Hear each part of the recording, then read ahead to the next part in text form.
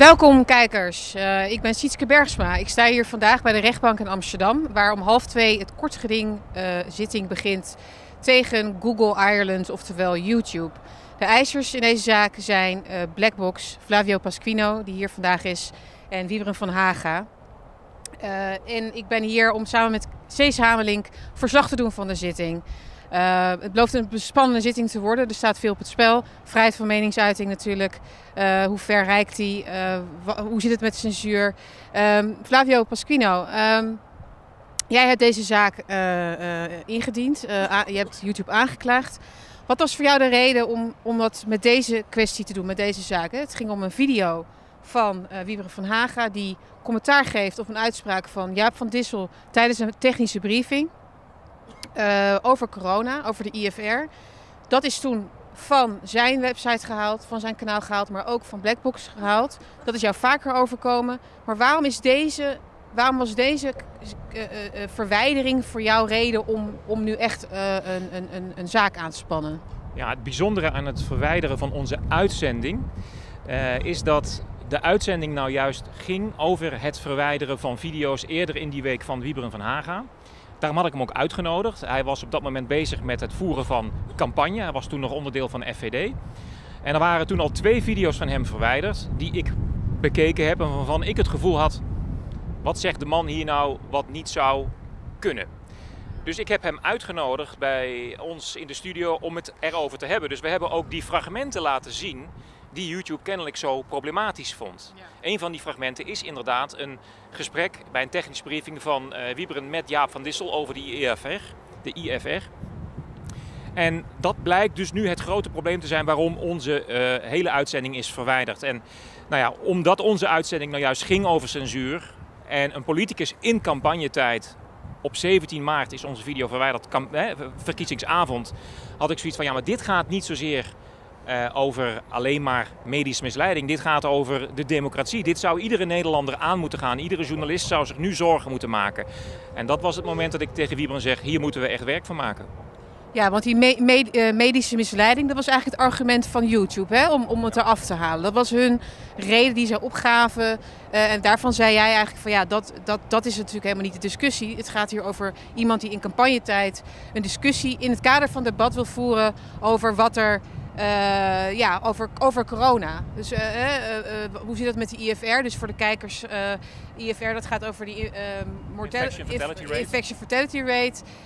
En jij had gevraagd, Wiebren, van ja, kun je dat vergelijken eigenlijk met de zware griep, toch? Dat was, jouw, dat was jouw vraag eigenlijk aan Jaap van Dissel. Misschien kun je even vertellen hoe dat op dat moment ging. Dus hoe is die opname tot stand gekomen toen met Jaap van Dissel?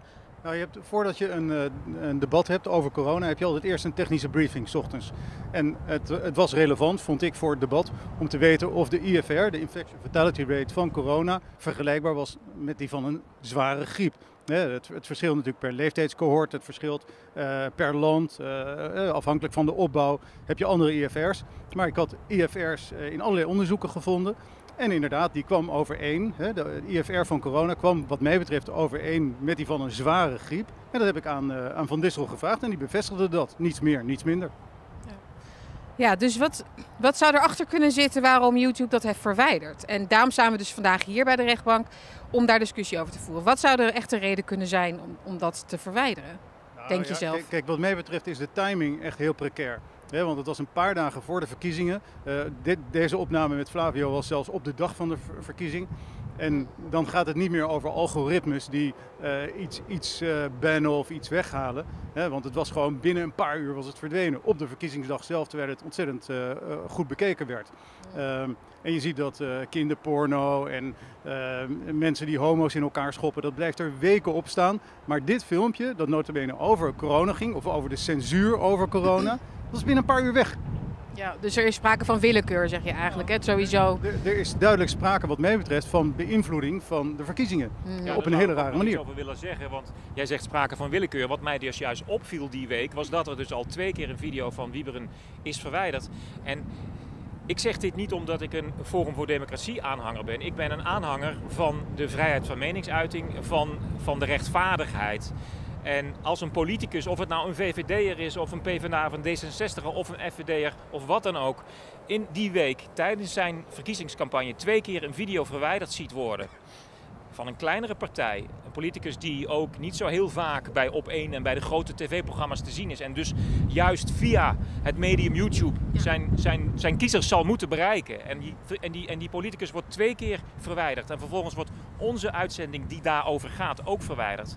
Dan hebben we volgens mij een systemisch probleem. Dan is er dus in mijn optiek wordt er getarget op iemand en dan gaat het niet meer over medische misleiding, dan wordt hier een politicus in campagnetijd monddood gemaakt. En dat is waarom ik het zo belangrijk vind. En ik denk dat iedere weldenkende Nederlander zich hier druk om zou moeten maken. Ja, dat zei je ook al tegen mij in het voorgesprek. Hè? Dit zou eigenlijk alle journalisten moeten aangaan. De hele media zou deze zaak eigenlijk moeten volgen. Want dit, gaat over dit is in ieders belang dat wij in, een democratie de, het debat kunnen voeren. Ja. En we zien al dat het al lastiger is in coronatijd. Hè? Er is weinig mogelijkheid om samen te komen in, in, in, eh, op plekken. Eh, en dan gaat de, de grootste aanbieder eigenlijk van debat op, eh, op internet monopolist. de monopolist gaat eigenlijk kiezen wie er wel of niet wat mag zeggen.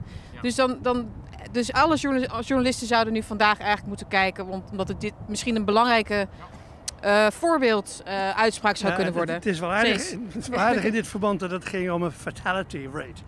En Ja. de, de fataliteit is nu weer aan de orde. Maar namelijk de fataliteit van het vrije woord.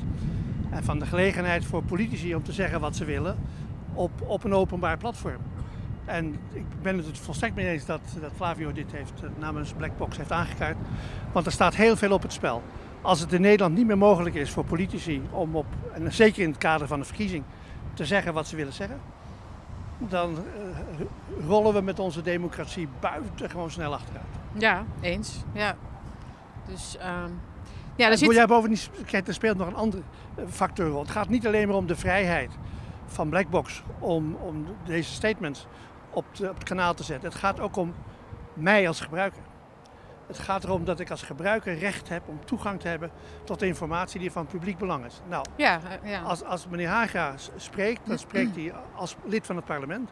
En dan of ik het er al of niet mee eens ben, dat is een zaak van de Europees Hof voor de Rechten van de Mens noemt dat een matter of public interest. En dan mag je onder geen enkele omstandigheid mag je daar eh, censuur op plegen. Dat is te belangrijk voor een democratie.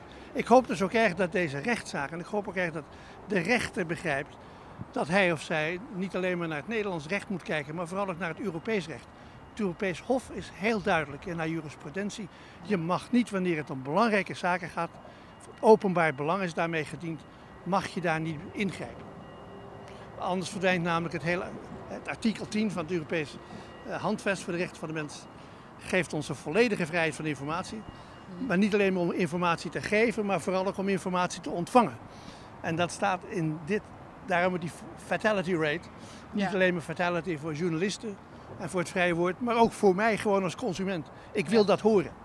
Ja, YouTube zegt natuurlijk wel in, al in een conclusie van antwoord schriftelijk af ja, maar de eh, platforms als, als Blackbox hebben toch ook een alternatief. Zij zijn zelf een platform al. Ze kunnen dan toch ergens anders zeggen wat ze willen zeggen. Wat, wat is daarop uw, eh, Ja, nee, uw nou, antwoord? Nou, Uw daarom, daarom hadden ze ook. Kijk, als ze, als ze het niet netjes vonden en als ze wat tegen eh, eh, deze politicus hebben, eh, en dan hadden ze dat gewoon van de buis moeten halen. Ze zijn zo onverstandig geweest om daar een argument bij te gebruiken. Het argument van misleidende medische informatie. Kijk, dat is een heel zwak argument, want dat gebeurt namelijk voortdurend op het internet. Het internet zit vol met misleidende medische informatie. Mhm. En waarom doen we daar niks aan? Omdat we niet goed weten wat dat eigenlijk is. Nee. Daar hebben we geen objectieve maatstaf. Nee, het impliceert ook dat YouTube zou weten wat de waarheid is en Ja, niet. dat Dat, is- is natuurlijk nee. niet zo. Dat moeten we samen zou als zijn samenleving. het zou wel fijn zijn. Dat ja. we even de chief executive officer opbellen en zeggen, weet je wat de waarheid is? Maar het, het heeft natuurlijk ook eh, te maken met eh, parlementaire controle. hè. Die vindt niet alleen plaats eh, tijdens de debatten in de Kamer, maar, maar ook daarbuiten, ook met de pers. En als de pers uitgeschakeld is, hè, en, eh, op, op een aantal kanalen zoals Blackbox na, is, is er eh, nauwelijks meer sprake van een onafhankelijke eh, kritische pers. Dus als dan ook YouTube nog verdwijnt als kanaal voor ons, hè, parlementariërs, om dat debat aan te zwengelen of te voeren, dan heb je een groot probleem. Maar die, die parlementaire controle geldt ook voor mij als kiezer. Ik zeg altijd tegen al mijn vriendjes die de politiek ingaan, weet wel, ik zit je nu in je nek, ik volg precies wat je doet, want dat is mijn taak als democratisch burger. En ik kan mijn taak als democratisch burger dus niet meer vervullen als ik niet hoor wat, u- wat u zegt. Bij allerlei gelegenheden, wat u ergens van vindt. Nee, maar daar heb je helemaal gelijk in. Hè? Dat filmpje dat heb ik geplaatst, dat was gewoon een filmpje. Hè, dat eerste filmpje over de IFR was gewoon een filmpje dat op debat direct ook nog steeds eh, te zien is. Het feit dat ik het plaats en een aantal volgers die zien dat, dat leidt tot een debat.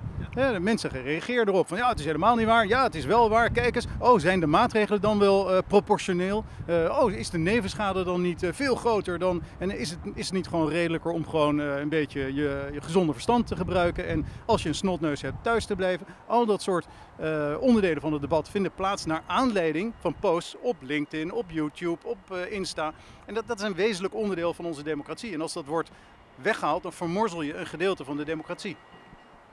Ja. Wat ik nog zou willen toevoegen, Sietske, jij zei net eh, dat YouTube in het verweer heeft aangegeven dat, het, eh, dat er voldoende alternatieven zouden zijn. Hè? En er zijn natuurlijk wel alternatieven, alleen dat zijn voornamelijk alternatieven waar je een hele lage traffic haalt en, eh, en eh, weinig vindbaarheid hebt. Dus het feit dat wij nu wegbewegen van YouTube, wat eh, YouTube kennelijk ziet als het signaal, "Ko, jullie hebben ons dus helemaal niet nodig. Dat is natuurlijk eh, eh, omgekeerde redenatie. Hè? Wij bewegen weg omdat we vrezen om gedeplatformd te worden. En omdat je daar niet meer normaal kan functioneren, moet je een alternatief bedenken. Maar dat is niet iets wat wij willen en dat leidt ook tot minder kijkers. Dus eh, YouTube moet zich heel goed realiseren, ik heb het al eens eerder gezegd in eh, de promo, dat zij onderdeel uitmaken van een kritische infrastructuur. Als YouTube morgen eigenaar wordt van de A2, dan kun je niet zeggen, ja, eh, pak maar dat, eh, dat paardenpad, eh, dan kom je er ook met je vrachtwagen. Ja, dan kom je A, drie keer zo laat aan, met meer schade aan je auto. En je maakt dus minder winst, dus je bent minder succesvol. En dat is wat. Discriminatie. Het is, dis- Ja. ja. het is dus wat ik zeg, een kritische infrastructuur waarin je nu niet meer kan zeggen er zijn alternatieven. Ja, ze zijn er, maar dat betekent dat je mensen de facto monddood maakt of een politicus in campagnetijd dus ja, zijn, zijn het woord naar de kiezer ontneemt. En dat vind ik heel erg zorgelijk. En YouTube moet zijn verantwoordelijkheid hierin nemen. En ik vind ook dat de overheid hierop zou moeten toezien. Een autoriteit persoonsgegevens, bijvoorbeeld al dat soort waakhonden in Nederland, die zouden hierop moeten, moeten, moeten toezien. Dat, dat dit in evenwicht blijft. En ze zijn allemaal ontzettend stil omdat het ze misschien goed uitkomt nu. Maar er komt ook een tijd dat dat anders is. En verder wil ik toe, eh, eh, toe naar het punt dat het nu eh, eh, 13 uur Wat, 14 nog even een laatste vraag dan. Dat wij naar binnen moeten. Ja, wat is de eis? Wat, is, wat, wat, wat eisen jullie eh, eigenlijk? Want, hè, het is een kort geding, dus wat is de eis? Wat, is, Ja, wat, wat willen jullie van, van, Het- het is van de rechter? Het is niet dat we om geld vragen, het is een principezaak. We willen dat de video wordt teruggeplaatst. Dat zal weinig effect hebben, want de video is inmiddels uitgedoofd. Maar we willen dat YouTube toegeeft, dit hadden wij niet moeten doen. En dat er een precedentwerking ontstaat, ook naar de toekomst toe. eh, dat er jurisprudentie is voor andere zaken, zodat er nu eindelijk een keertje paal en perk wordt gesteld aan het gedrag. En dat er in de toekomst hopelijk ook eh, wetgeving op kan worden aangepast. En wellicht is die er al, maar dan moet die beter gehandhaafd worden. Maar dit moet echt stoppen. Duidelijk. Het is toch nog aardig om te vertellen dat eh, het gevraagde filmpje over de IFR hebben ze een paar dagen geleden al teruggeplaatst. Met een excuus van ja, sorry, we hebben nog na vier maanden eens een keer goed naar gekeken. En het was geen medische misleiding, het was gewoon geen desinformatie. Kijk maar, hier heb je hem weer terug. Ja, dat is natuurlijk hopeloos. Hè? Het is vier maanden geleden, vlak voor de verkiezingen, ben ik gebrandmerkt als een desinformatieverspreider. Hè? Iemand die eh, een corona-wappie is. Blijkbaar niet. En vlak voor de zitting doen ze het toch even, zitting en is- nog even is alles zelden weer oké. maar Ja, ja, maar ja. onze video is nog steeds eh, verwijderd. Ja, en dat heeft een reden en dat kunnen jullie zo meteen nog even toelichten. Gaan we want daar doen. hebben ze een heel relaas voor hè, in, Ja. de- in het, in het Ja, antwoord. want, precies. En dat, dat, dat, dat, wij moeten naar binnen. Ja, eh, de eisers gaan naar binnen. Wij gaan eh, samen, Cees, wij gaan samen verder praten. Tijdens de zitting ook. eh, hopelijk kunnen we het zowel bespreken als volgen. Dat gaan we proberen althans. Ja, de zitting eh, begint zo meteen. Ja, het is wel Ehm, goed om er nog een paar commentaren. bij te geven. Misschien straks ook gedurende de zitting, maar misschien Ja. ook daaraan voorafgaande. Want er er spelen Ja. er een paar hele principiële Ja, punten. Het is misschien wel goed om daar nog even verder op, eh, op in te gaan. Ehm, ja, we gaan zo meteen de, de, het clipje bekijken van Jaap van Dissel. Ja. Eh, hè, dus dat wordt waarschijnlijk wel. De zitting duurt anderhalf uur, dat is best wel lang hè, voor een kort gedingzaak. Ja.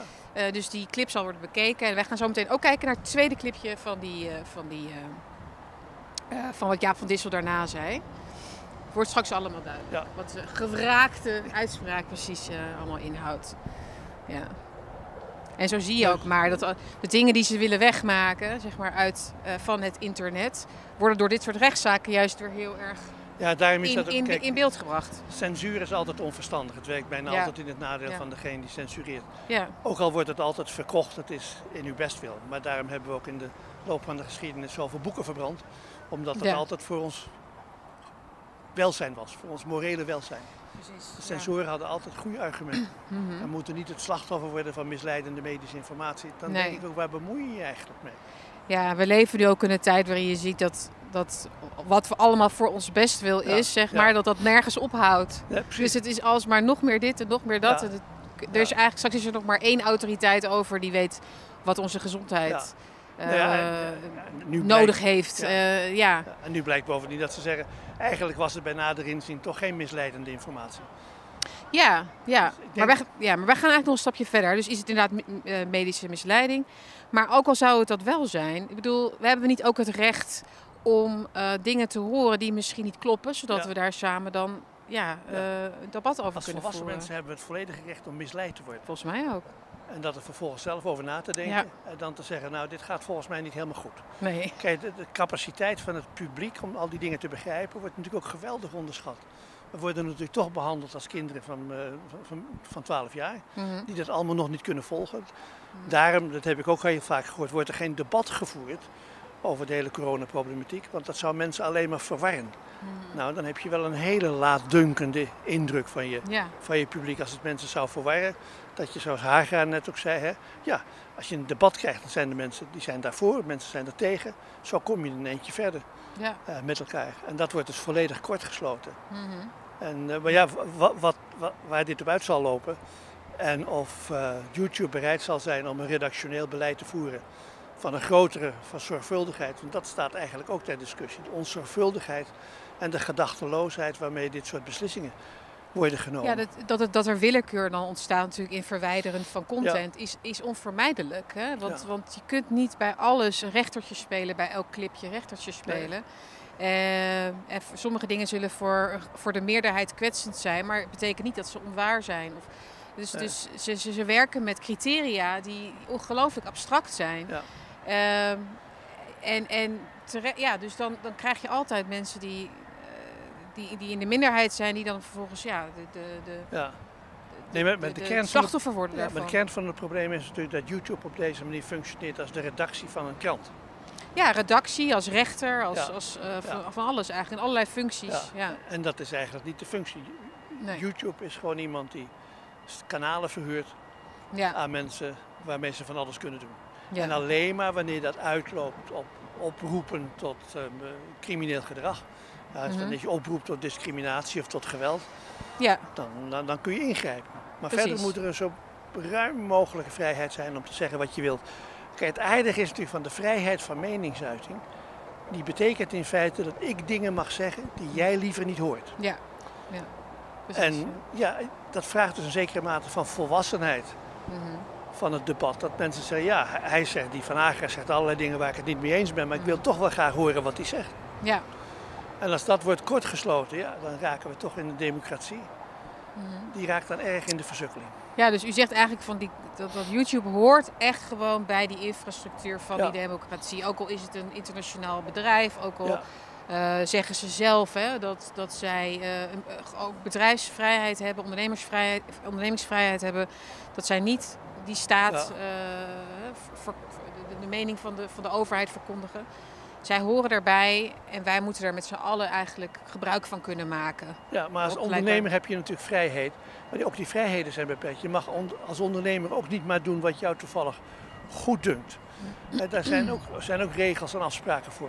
Ja. Dus je moet in ieder geval Want dat hebben we met elkaar al een paar jaar lang afgesproken. Eh, rondom het beheer van het internet. De grote vraag in het internationale gemeenschap is wie beheert eigenlijk het internet? Wie is eigenlijk de baas van het internet? Ja. En een van de afspraken die we daarin hebben gemaakt in de Verenigde Naties is: het net is neutraal. Het is een vervoermiddel. En op Ja. het net moeten alle gebruikers gelijk worden behandeld. En mag je niet bemoeien met de inhoud van wat die mensen transporteren, Ja. tenzij het heel evident is Hm. in strijd met de wetgeving. De zon gaat schijnen bij deze Oh, uitspraak. Nee, maar dat is ook mooi. Het is, het is net als de ruimte waar we nu staan. Hè? Dus, eh, net als het debat vroeger op de pleintjes eh, eh, Ja. er was, is, is YouTube eigenlijk net zoiets nu. Ja. Alleen ja, het internet heeft het leven natuurlijk wel complexer gemaakt in die zin. Ik bedoel, ehm, Ja, maar het internet is niks anders dan een hele grote ruimte. ja, oké. En mensen moeten zich realiseren dat die ruimte. Dat is een beetje verward als wordt gesproken over Hm. private partijen, particuliere ondernemingen. Ja, die een zekere mate van ondernemingsvrijheid hebben, ja. Maar zij maken wel gebruik van iets wat van ons allemaal is. De infrastructuur van het internet, de, fre- de, de frequenties die je daar gebruikt, die zijn van ons allemaal. Dat is net zoals de diepe oceaan, die is van ons allemaal. De ruimte is van ons allemaal. Ja. En we hebben ooit met elkaar afgesproken, dat gaat niet helemaal goed over, maar dat hoort nou eenmaal bij de, ja. bij, bij- bij de mensen, bij de politiek. We Ja. hebben af, met elkaar afgesproken dat we daar allemaal gelijk gebruik van kunnen maken. En allemaal gelijkelijk toegang toe Ja. hebben. Maar dat, dat is inderdaad het uitgangspunt. Dat is het ook het ideaal natuurlijk. Dat zou mooi zijn. Wa- waarom, waarom kan YouTube zijn verantwoordelijkheid als zo'n belangrijk bedrijf dan niet nemen en zeggen... nou, wij willen dat ook faciliteren voor iedereen. Ja. Wat zou de reden kunnen zijn waarom zij nu zo rigoureus... want eh, je ziet het ook in Duitsland, hè, er worden heel veel zaken gevoerd tegen YouTube. Er Ja. wordt heel veel censuur gepleegd. Met name natuurlijk ook bij... eh, Media-oppositie, hè? Dus, dus kleinere partijen die Ja. eh, tegen de overheidsbeleid ingaan. Die, worden, die, gaan allemaal, die moeten allemaal naar de rechter. Er worden ook zaken gewonnen tegen YouTube. Wat is hun belang eigenlijk om, eh, om, om, om zoveel energie te stoppen in dat, in dat censureren van, eh, van, van kritisch geluid? Nou, ik denk dat er, dat er wel een zekere achtergrond is. De, de regelgevers in Europa en ook in de Verenigde Staten Ja. zijn de afgelopen jaren in hoog tempo achter die, dit soort platforms aangegaan. Vooral omdat er heel veel bezwaar is tegen hun monopoliepositie. Je hebt, eh, Rondom het internet heb je wat wel wordt genoemd de vreselijke vijf. De Frightful Five. Mhm, Dat is Amazon en dat is Al- Alphabet, de baas van, van YouTube. mhm. En dat is Apple en dat is Microsoft en Facebook. Dat zijn Ja. de grote bedrijven. Grote spelers, Die hebben ja. een soort van monopoliepositie eh, verworven in dit geheel. Daar maken veel overheden bezwaar tegen. En, en die hele discussie of die, Waarom? Waarom eigenlijk? de, de macht van die high-tech Ja. bedrijven Ja. begon vooral zeg maar, toen eh, president eh. Trump van Twitter werd verwijderd. Oké, ik hoor nu dat we even naar het filmpje gaan kijken wat Prima. vandaag eh, Ja, ja. besproken zal worden in de rechtszaal, in, de, in de zittingszaal. Ehm, dat gaat over het filmpje van Jaap van Dissel, waarin hij eigenlijk het antwoord geeft op eh, de vraag van Wieberen van Haga tijdens de technische briefing van hoe zit het nou eigenlijk met die eh infection fatality rate, Eh, Ja. zeg ik het goed? Eh, daar geeft Jaap van Dissel vervolgens antwoord op. Ehm, en dat zou dus volgens YouTube medische misleiding zijn. We gaan even kijken naar het, eh, het eerste stukje van dat fragment. Ja, ik worstel nog een beetje met die IFR's. Want ik, eh, ik zeg altijd dat de IFR van eh, COVID vergelijkbaar is met die van een zware griep. Maar ja, er zijn zoveel verschillende getallen in omloop. Hè. Dus de Wereldgezondheidsorganisatie zegt 0,23 procent. En dan, en dan is er een getal van 0,17 procent voor influenza in 2017 in Nederland. Maar de CFR in 2020 is dan weer 0,15 procent. En dan snap ik ook wel dat niet iedereen met influenza zich, eh, zich meldt. Hè? Dus dat die IFR weer moeilijker vast te stellen is. En dat er een hoop vals positieven zijn bij de testen van COVID-19. Maar kunt u misschien aangeven wat het dan voor Nederland exact is, wat het voor de wereld exact is. En of het toch in dezelfde orde van grootte zit? Dank u wel, de heer Van Dissel. Nou ja, dat kan ik alleen maar weer zeggen met eigenlijk verwijzing naar het antwoord net. Hè, want je wil dan natuurlijk de totale groep die het heeft gehad ehm, in de noemer hebben. De teller die is, eh, die kan je op het maximum zetten van de oversterfte van afgelopen jaar. En die twee delen, en dan kom je inderdaad op, eh, op percentages zoals u dat ongeveer noemt. Ja, dus u, u hoort hier zeggen eh, dat uh, Jaap van Dissel zegt eigenlijk, ja, daar komt het ongeveer wel op neer. Hè? Ja, dus ja, die, die ja. zware griep Een eh, heel onschuldig stukje. ongeveer wel op neer. Ja. Hè? Dus dat, dat is letterlijk de, dat zijn de woorden. Eh, dus dit is, dit is het clipje wat vandaag besproken zal worden van was dit medische misleiding? Was dit reden voor YouTube om het eraf te halen? Dat zullen we dus later eh, weten, hoe de rechter daarna eh, over denkt. Maar YouTube zegt eigenlijk van ja, dit is uit de context gehaald. Want Jaap van Dissel heeft daarna nog iets gezegd. En als dat, als dat ook in eh, de uitzending van Blackbox was geweest, dan hadden wij het niet Ja. verwijderd. Dan was het wel binnen de context. Laten we even naar het tweede stukje kijken van wat Jaap van Dissel vervolgens zegt. Eh, en dan hebben we het erna over. Eh, op percentage, zoals u dat ongeveer noemt. Maar toch, dan is het toch wel in dezelfde orde van grootte. Dat, dat is eigenlijk mijn vraag. Nou, maar dat is, ja, maar dat is niet het enige waar het om gaat. Hè? Dus de, en de orde van grootte, ik, ik vind het dan nog steeds wat, eh, wat hoger, voor de duidelijkheid. Maar het, het eh, punt bij COVID is natuurlijk niet alleen eh, de sterfte, het is ook de overbelasting van zorg die je krijgt, omdat een ziektebeeld waar in principe nog niemand bescherming tegen had, natuurlijk de hele bevolking doorgaat. Dat is ook wat je met een hele nieuwe griep zou zien. Dus, de, dus de, een belangrijk deel van waar ook Ernst Kuipers hier eh, u net de, de dingen heeft geïllustreerd, heeft natuurlijk niet te maken met sterfte door COVID, maar domweg met de aantallen die je krijgt als het zonder, eh, als het ongelimiteerd rondgaat. Ja, dat hebben we in Bergamo gezien. Ik bedoel, dat, dat levert echt dramatische beelden op, waarbij eh, dan een hele stad eh, COVID krijgt in een hele korte periode. En dat kunnen we gewoon niet aan, want zelfs van, ook al krijgen de meeste mensen het in geringe mate, er zijn, het percentage dat het ernstig krijgt, is domweg te hoog. En gaat naar het ziekenhuis en heeft ook ehm, ja, zuurstofbehandeling nodig of zelfs beademing. En dat is het probleem. Ja, dit is dus het tweede deel van, de, van het commentaar eigenlijk van Jaap van Dissel op de opmerking en vraag van Wieren van Haga. Dit was volgens YouTube relevant om mee te Ja. nemen. Maar wat hij eigenlijk zegt, misschien ben je het ermee eens of niet, ik weet niet. Maar hij zegt eigenlijk, ja, dat, het is inderdaad een soort zware griep. Ja. Maar het zou erger kunnen worden als, we de, hè, als Ja. de zorg overbelast raakt of wat dan ook. Dus het is eigenlijk niet een ontkenning van wat hij eerst zegt. Nee, hij, hij, hij blijft bevestigen dat, dat de percentages ongeveer gelijk zijn. Alleen dat je rekening moet houden met een paar andere factoren.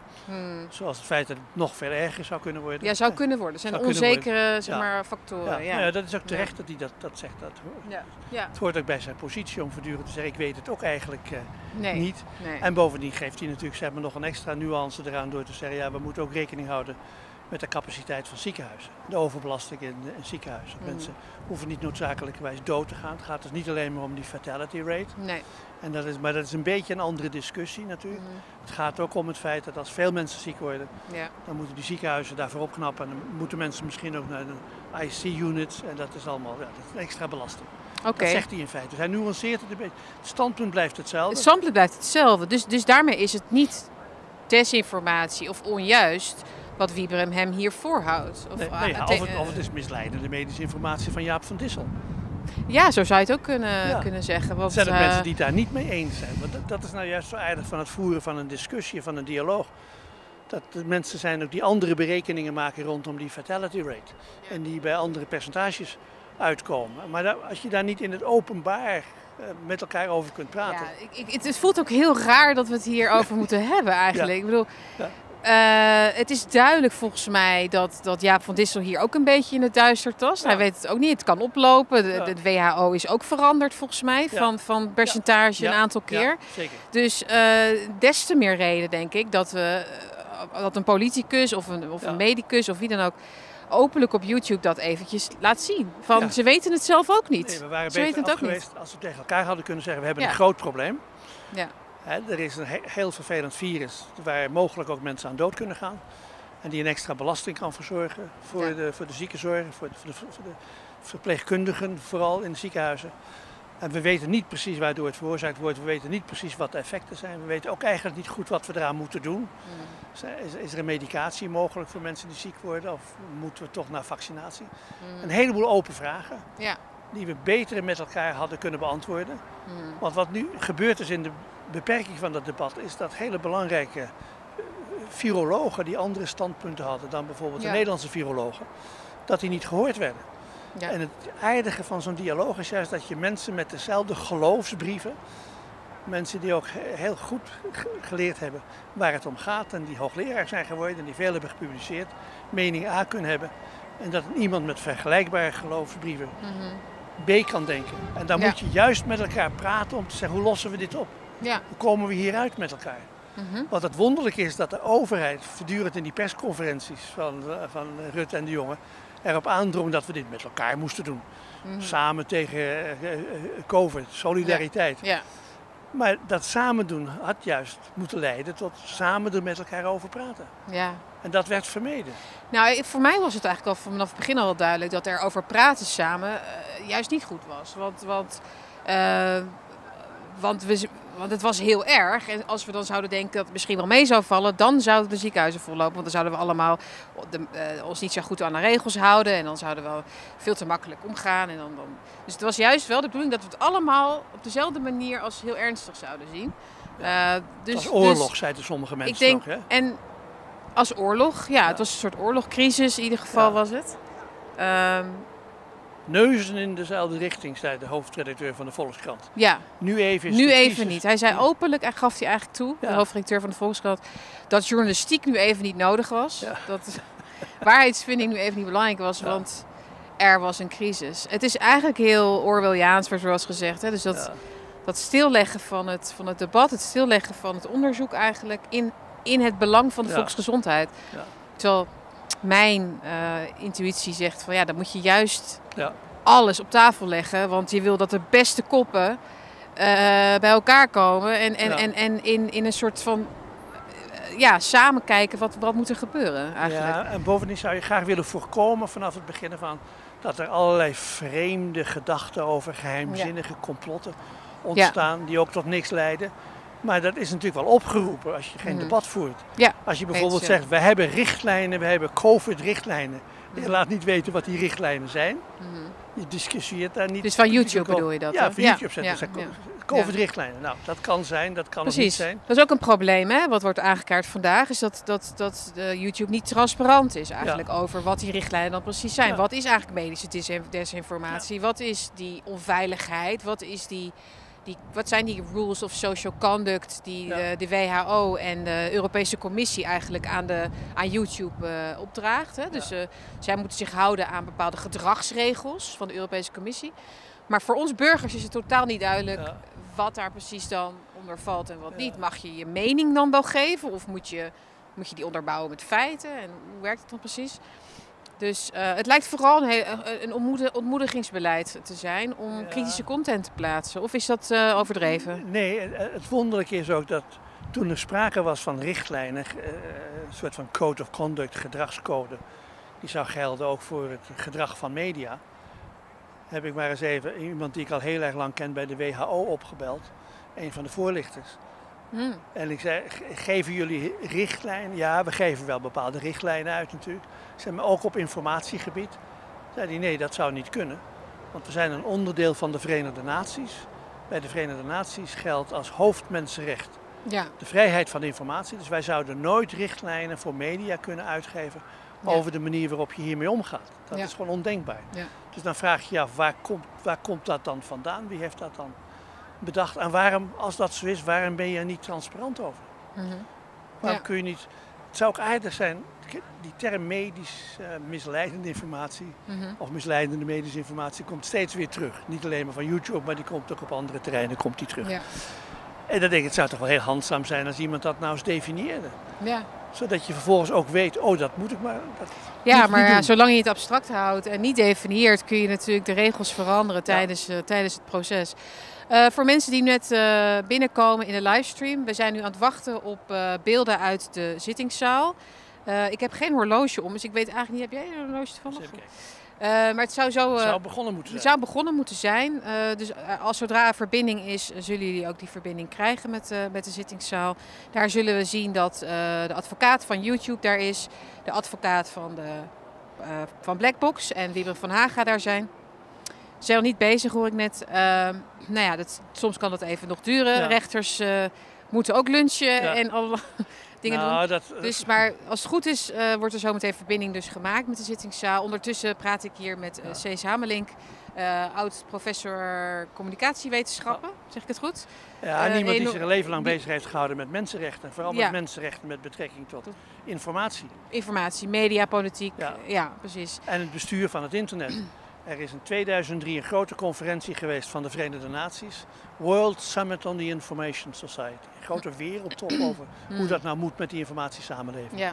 En een van de grote vragen was, hoe moeten we het internet beheren? En er was een grote verdeeldheid van meningen, want sommigen vinden dat het internet moet beheerd worden door overheden. Dat Ja, was het dat- standpunt van ja. de Russen en de Chinezen. Dat Uiteraard. kun je wat voorstellen. Tuurlijk, ja. An- Anderen vonden dat de overheid moet beheerst worden door bedrijven. Mm. Dat, dat was dan vooral de Verenigde Staten. Ja. En de bedrijven zelf natuurlijk. En er is een grote groep, eh, eh, zoals dat wordt genoemd, burgerlijke samenleving, civil Ja. society mensen, die vonden, we moeten het met elkaar doen. We moeten gewoon een soort van Ja. democratisch beleid hebben voor het internet. Want het internet is van ons allemaal. Ja. En ik hoop ook erg, ik heb het al eerder gezegd, maar ik hoop erg ook dat bij de zitting vandaag ook de, de rechten dat argument zwaar wil laten wegen. Mhm. Dat het internet geen, dat is vaak een misverstand, het is geen particuliere infrastructuur. Het is niet iemand die een weg heeft en daar een tol bij kan eisen omdat het Nee. zijn weg is. Nee, van- zeker niet meer in dit stadium. Hè, Nee. waarin ze zo groot zijn en mensen zo afhankelijk zijn ook geworden van het internet. Ja, Eh, en minder bij elkaar komen Ja. eigenlijk om Ja. aantekeningen te vergelijken, zou je kunnen zeggen. Moet, moet YouTube dat faciliteren ja. inderdaad. Maar ja, het probleem Maar is... zitten we, zitten we niet in een, in een, ik heb ook wel eens opgeschreven, we zitten eigenlijk in een informatieoorlog inmiddels. Hè? Want dat spelletje van is het nou van de staat, is het nou van Ja. private bedrijven, is het van ons allemaal, is, is, heeft eigenlijk tot een soort oorlogssituatie geleid. Dus misschien moet het daar wel. Ik hoor net dat we naar de rechtbank kunnen. Prima. Eh, beste kijkers, we gaan nu eh, naar, live naar de eh, zittingszaal waar het kortgeding plaatsvindt tussen Blackbox en YouTube vandaag. Kijk, we hebben even pauze.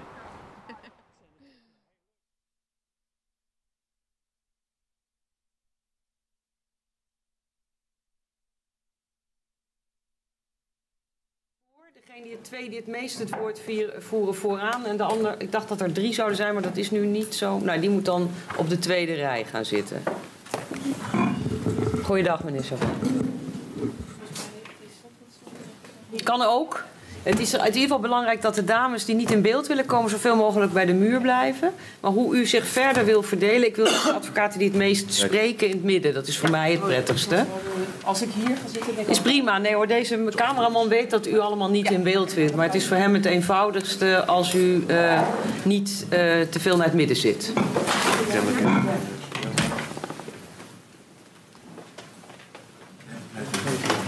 Mevrouw de voorzitter, als ik iets mag zeggen, de dame achterin, die zie ik nu wel precies zo door de advocatuur heen. Als die naar het stoeltje hier eh, links voor U kunt kan, beter naar voren gaan. eh. Dank u.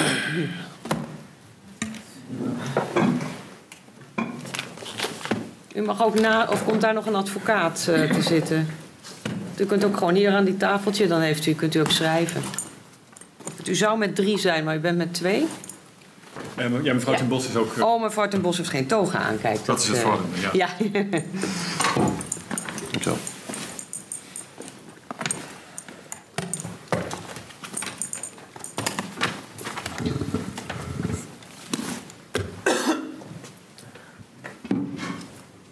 Goed.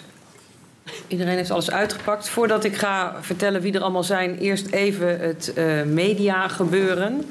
Eh, er worden, eh, wordt een livestream door uzelf, ik noem het maar een livestream, maar er wordt live uitgezonden. We hebben afgesproken dat iedereen aan deze kant in beeld mag. Dat klopt, hè? dat heeft u ook zelf afgesproken. En de dames in die hoek niet in beeld en togadragers zijn aan het lot overgeleverd. Wij komen in beeld of wij dat nou wel of niet graag willen. Ehm, er zijn ook mensen die via Skype deze zitting eh, volgen. Daar gelden dezelfde regels voor die normaal in het gerechtsgebouw gelden. En dat betekent dat er geen geluids- en beeldopnames mogen worden gemaakt. Dus u mag het alleen via de Skype-verbinding volgen. Als u het later, later terug wil zien, moet u kijken op Blackbox. Want ik neem aan dat dat filmpje daar niet, eh, dat dat daar wel even op blijft staan. Dat als ze het heel graag willen. Maar u mag zelf geen opnames maken. En er is publiek op de publieke tribune. U kunt mij verstaan? En daar schijnen nog meer mensen buiten te staan, maar die worden dan toegelaten om de zitting daar verder te, ook te volgen als die zich melden. Goed, eh, eisende partijen, meneer Van Haga, meneer Paskino en Stichting Blackbox. En namens Stichting Blackbox is mevrouw Rietveld er, begrijp ik? Meneer Rietveld. Meneer Rietveld, waarom ik nou... Oh, dat komt omdat het... Ja. En wat is uw functie bij de stichting? Bent u bestuurder? Algemeen, ja. Maar bent u ook statutair bestuurder? Geen statutair bestuurder. U nee. bent algemeen directeur of Algemeen eh u bent namens de stichting? Ja, namens de stichting, ja. En eh, bent u, meneer Paschino, ook niet verbonden aan de stichting nog? Ja, ik- klopt. Ik ben eh, bestuurder. U bent bestuurder van de stichting. Dat vind ik altijd belangrijk om te weten. Goed, u wordt. En dan is er nog mevrouw van Maurik. Daar, en u bent ook gewoon algemeen verbonden aan de stichting. En dan zie ik nog een gezicht. Meneer Verwijk, kantoorgenoot van... eh, Oké, u, bent, eh, u bent meneer Verwijder. Dan ga ik u even een haakje geven dat ik weet dat u niet in toga bent. Meneer Maliepaard ken ik en meneer Zets ook. En u staat deze partijen bij. En van u hebben wij een dagvaarding met producties en nagezonde producties 11 en 12. Die behoeven wel enige toelichting, maar dat zal u niet verbazen. Dat wij daar niet meteen van wisten wat we daarmee moesten, maar dat zal vast komen zo direct. Gedaagde partij is Google Ireland. Eh, namens eh, die partij, of eigenlijk via voor Google Netherlands, zijn mevrouw Antietster, mij ook bekend, en mevrouw Monkaila, dat bent u. En eh, meneer Chavan en mevrouw Strijbos. En dan bent u mevrouw Ten Bos, dat hadden we net vastgesteld. En van u hebben wij een conclusie van antwoord met producties gekregen. Ehm, de zaak, het zaak het draait in deze zaak om twee video's. Eh, waarvan er één, begrijp ik inmiddels, is teruggeplaatst op YouTube. Daar heb ik nog wel een vraag over. De discussie ging vooral over de, eh, dat het eigenlijk niet de volledige verhaal was op die video. En mij is niet helemaal duidelijk wat er nu teruggeplaatst is op YouTube. Is dat de korte versie of de lange versie? En de lange versie is dan de versie die ik in productie 4 bij de dagvaarding uitgeschreven aantref. En terwijl productie 5, wat wij vanochtend bekeken hebben, is de korte. En welke staat er nu weer op YouTube? De, de korte is teruggeplaatst. Oké, de korte. Nee, nee dat klopt niet. De, de, de lange, het integrale filmpje is Waar, ook, teruggeplaatst. me- waar meneer Van Dissel nog weer doorpraat. Precies. Dus de lange versie is teruggeplaatst. Ja, ik vermoed dat hij per ongeluk een andere versie van het filmpje als de USB-stick Ja. heeft gezet.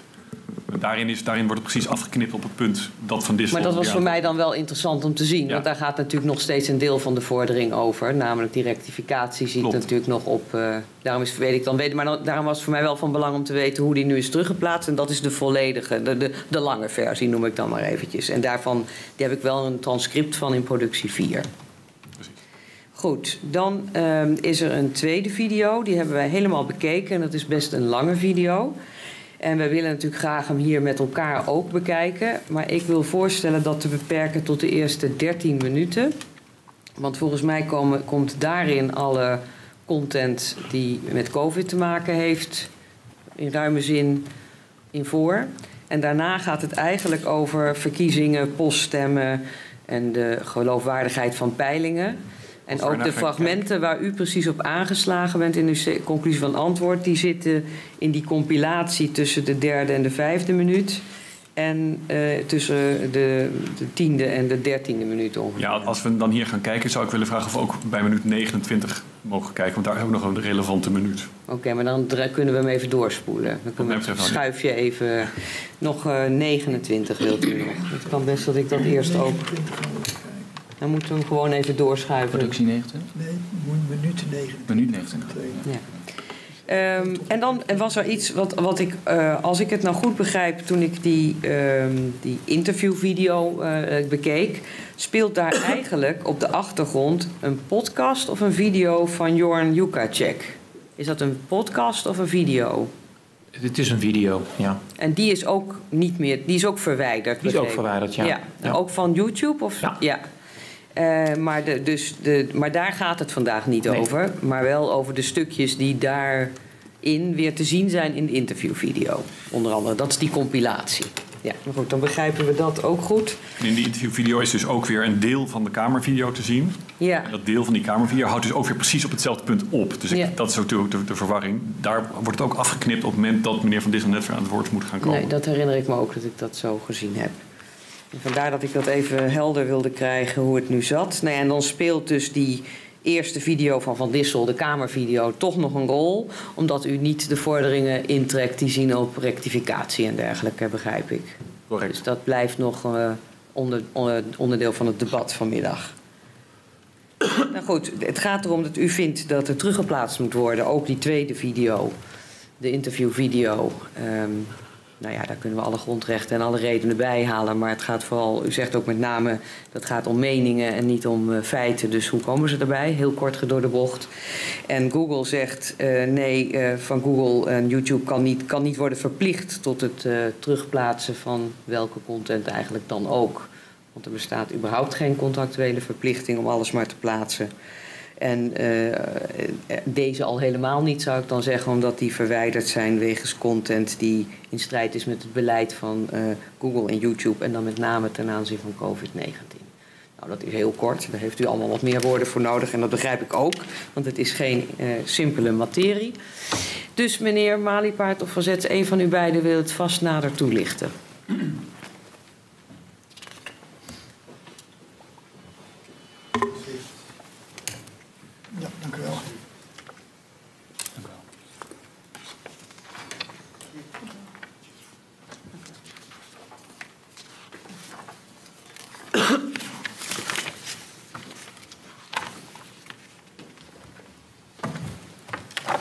Hebben het uh, opgeknipt. Ik zal het oh, eerst gaan we eerst het filmpje draaien of komt er een moment in uw pleitnota in dat we die pleitnota 13... zou ik dat graag uh, op dat moment doen. Als... Maar dan, en dan doen we hem dan in één keer. We gaan Ja. niet... eh, ja, prima. Nee, dan eh, wachten we dat moment even af. In de onderhavige procedure staat centraal de vraag in hoeverre het gedaagde, Google Ierland Limited, vrij staat om op haar videoplatform te bepalen welke meningen wel en welke meningen niet gehoord mogen worden. Meer concreet heeft YouTube daags voor de Tweede Kamerverkiezingen, welke plaatsvonden in maart van dit jaar, een tweetal video's van haar platform verwijderd. De eerste verwijderde video heeft betrekking op een, op een gesprek dat Jaap van Dissel van het RIVM met Wiebren van Hagen had. Dit gesprek vond plaats in een commissievergadering van de Tweede Kamer, een zogenaamde technische briefing. Deze video heeft YouTube verwijderd met de enkele mededeling dat deze medische misleidende informatie zou bevatten. De tweede video die YouTube heeft verwijderd heeft betrekking op een interview dat Van Haga geeft in het opinieprogramma van Blackbox. In het opinieprogramma werd onder meer het gesprek tussen Van Dissel en Van Haga dat plaatsvond tijdens de commissievergadering in de Tweede Kamer besproken. Het accent van het interview lag niet bij de inhoud van dat gesprek, maar bij het verwijderen door YouTube van de betreffende beelden. Ook deze video heeft YouTube verwijderd onder de mededeling dat deze misleidende medische informatie zou bevatten. Dit terwijl het interview geen betrekking had op het COVID-19-beleid, maar op het verwijderen van het fragment aan zich. In de onderhavige procedure vorderen Van Haga, Blackbox en Pasquinio kort weergegeven dat YouTube de verwijderde beeldfragmenten terugplaatst op haar platform en een rectificatie plaatst. Deze vordering is niet alleen relevant voor Van Haga, Blackbox en Pasquinio, maar heeft een bredere rijkwijde. En ieder heeft er immers belang bij dat de kaders waarbinnen YouTube als grootste aanbieder van een dergelijk platform kan en mag opereren. Duidelijk wordt vastgesteld dat dat, dat, dat duidelijk wordt vastgesteld. Een dergelijke duidelijke, uh, sorry, een, der, een dergelijke duidelijkheid aangaande de positie van een machtspartij als YouTube raakt en baat ons allemaal. Het is relevant om aan te geven dat YouTube daags voor deze zitting de video van Van Haga, het beeldfragment dat betrekking heeft op de commissievergadering in de Tweede Kamer, heeft teruggeplaatst. YouTube heeft aangegeven dat het betreffende beeldfragment bij nader inzien toch geen misleidende medische informatie zou bevatten. Tot dat inzicht is zij gekomen daags voor deze zitting en na vier maanden dat het verwijderd is geweest. Na vele e-mails, na brieven en onder druk van deze procedure. Eisers hebben de middelen en de mogelijkheid om hun recht te halen en Google tot de orde te roepen. Anderen is dat niet gegund. Deze procedure gaat dus over het vaststellen van de kaders waarbinnen een nagenoegen monopolist als Google, YouTube zich kan uh, opereren en dat dat duidelijk wordt vastgesteld. Dan wil ik even kort ingaan op de feiten in aanloop naar deze procedure. Nadat zij zijn geconfronteerd met het verwijderen, uh, sorry, met, het, uh, met de verwijdering van een video, hè, dus, dus, de, dus de kamervideo, en vervolgens de tweede video, de interview, interviewvideo, hebben Van Haga, Blackbox en Pasquinio bij YouTube bezwaar gemaakt tegen het verwijderen van de beeldfragmenten. In eerste instantie heeft YouTube hier niet op gereageerd.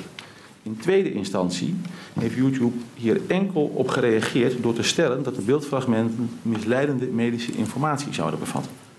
YouTube heeft op dat moment nooit willen aangeven waar die misleidende informatie uit zou bestaan. YouTube heeft dat pas gedaan bij conclusie van antwoord in deze procedure.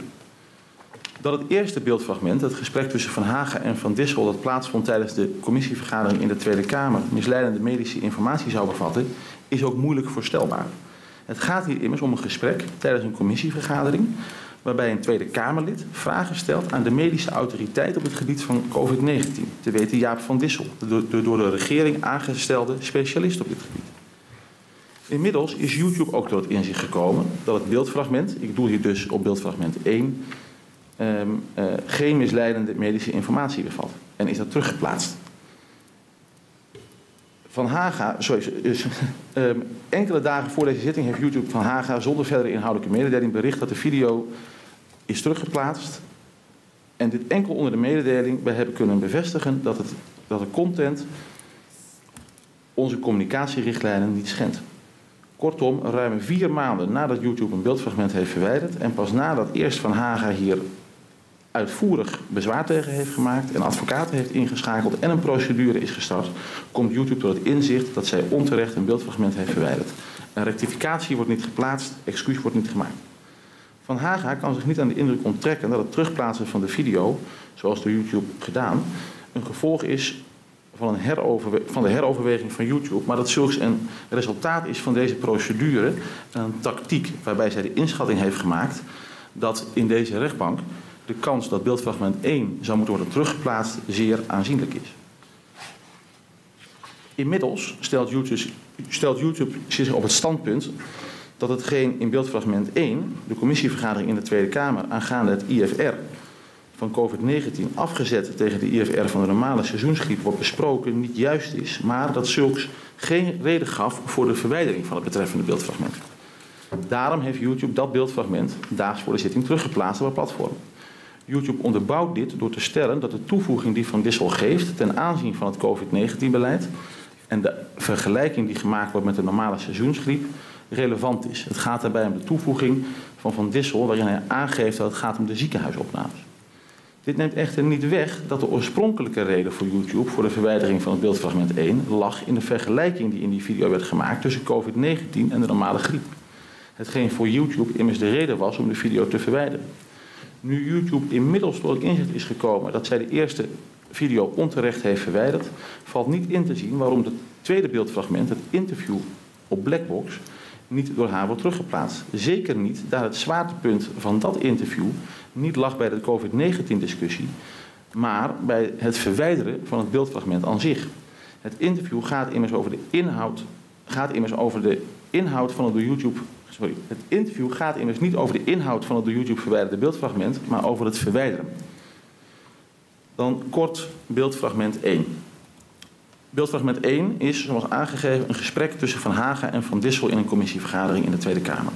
Nu dit zo centraal staat in deze procedure, zouden we graag dat beeldfragment even bekijken. Welke productie is dat? Dezelfde sticky, maar dan de eerste productie. Het eerste filmpje, dus productie 5, dacht ik.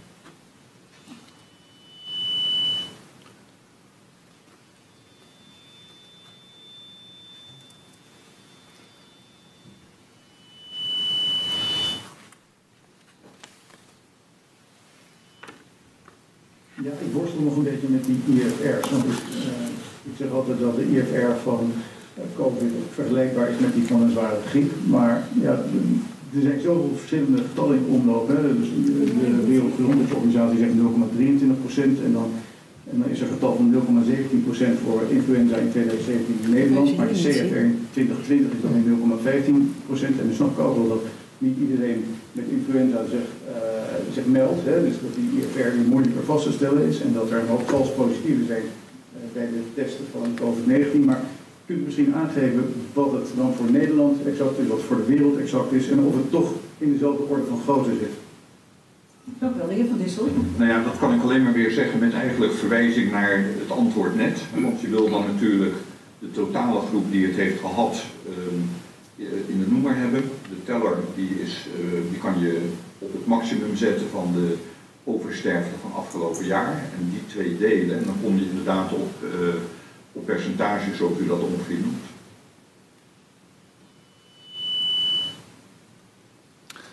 Zoals u uit het... Dit is dus niet compleet, hè, voor de Nee, dit is dit, niet zoals hij nu is Ja, teruggeplaatst. maar ook niet dit zoals is, hij toen stond. dat was het toen zelfs korter. YouTube heeft niet iets anders teruggezet dan er verwijderd was. Dit is een ander filmpje. Dat is even belangrijk. Want over het, het transcript gaat verder. Hè? Ja, maar was het eerste filmpje dan inclusief die tweede toevoeging dan toch? YouTube heeft hetzelfde filmpje teruggezet Ja, als anders kon het niet, want meer had u natuurlijk niet. Nee. Dus dit is een ander filmpje. Dat, ik weet toevallig dat er andere versies van dat filmpje hebben gecirculeerd... waarin dus die tweede helft is weggeknipt. Ehm, en dit is daar kennelijk eentje van. Nou, sorry, maar dit- kijk, het is hetzelfde filmpje, alleen dit is het eerste deel van het filmpje. En het tweede gedeelte ontbreekt daaraan. En het filmpje dat ik had gepost, was het integrale, Precies, gehele filmpje. Dat is en dat is precies wat meneer teruggeplaatst. Chavanne zegt, ja. Dat is dus niet ingeknipt, het is alleen korter gemaakt.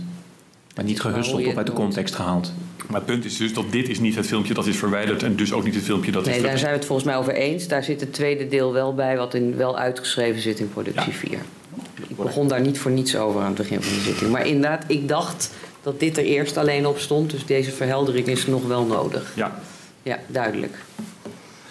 Zoals u uit het eh, filmpje kunt opmaken, eh, stelt Van Haga een eh, vraag aan Van Dissel, geeft Van Dissel daar een antwoord op. Ehm, ehm, eh, en dat is het eigenlijk.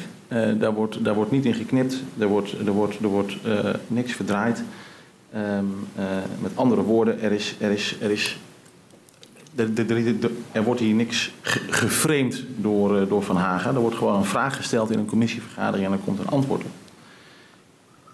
In de interviewvideo op het kanaal van Blackbox ligt het zwaartepunt niet bij eh, de, de, de inhoud van het beeldfragment dat verwijderd was, maar meer bij de verwijdering aan zich. Het interview gaat immers, zoals reeds aangegeven, niet over de inhoud van het beeldfragment, maar over de verwijdering. En eh, misschien is dit ook het moment om dan even naar beeldfragment 2 te gaan. Tenminste, dat deel wat daarvan relevant is. De eerste 13 minuten zou ik eh, denken. En dan nog rond 29. Ik dacht dat wij het hier ook konden zien. Hoe betrouwbaar zijn de verkiezingen nu de haarscheuren op alle fronten zichtbaar zijn? Circa 80.000 afgekeurde poststemmen tellen toch mee nadat minister Ollongren de spelregels tijdens het spel op de schop gooide. D66er Mark Koek van Hack Defense doneerde 15.000 euro en onderzoekt de ondersteunende software van de verkiezingen en liet zich openlijk negatief uit over Thierry Baudet op Twitter. Stembureau-medewerkster Lisa tweette: Als je op Thierry of Geert stemt, verscheuren we je stembiljet. En twee video's van Wieberen van Haga zijn een paar dagen voor de verkiezingen van YouTube verwijderd. En als we een laptop of zo doen, krijg je gewoon meer. Welkom Wieberen van Haga, je bent druk met toeren door het land. Welkom Joran Lukacek. Jij hebt onlangs een video gemaakt met Wieberen op jouw kanaal, hè, Truman Show heet dat. Jij had 60.000 views al behaald met die video en ineens was de video verwijderd.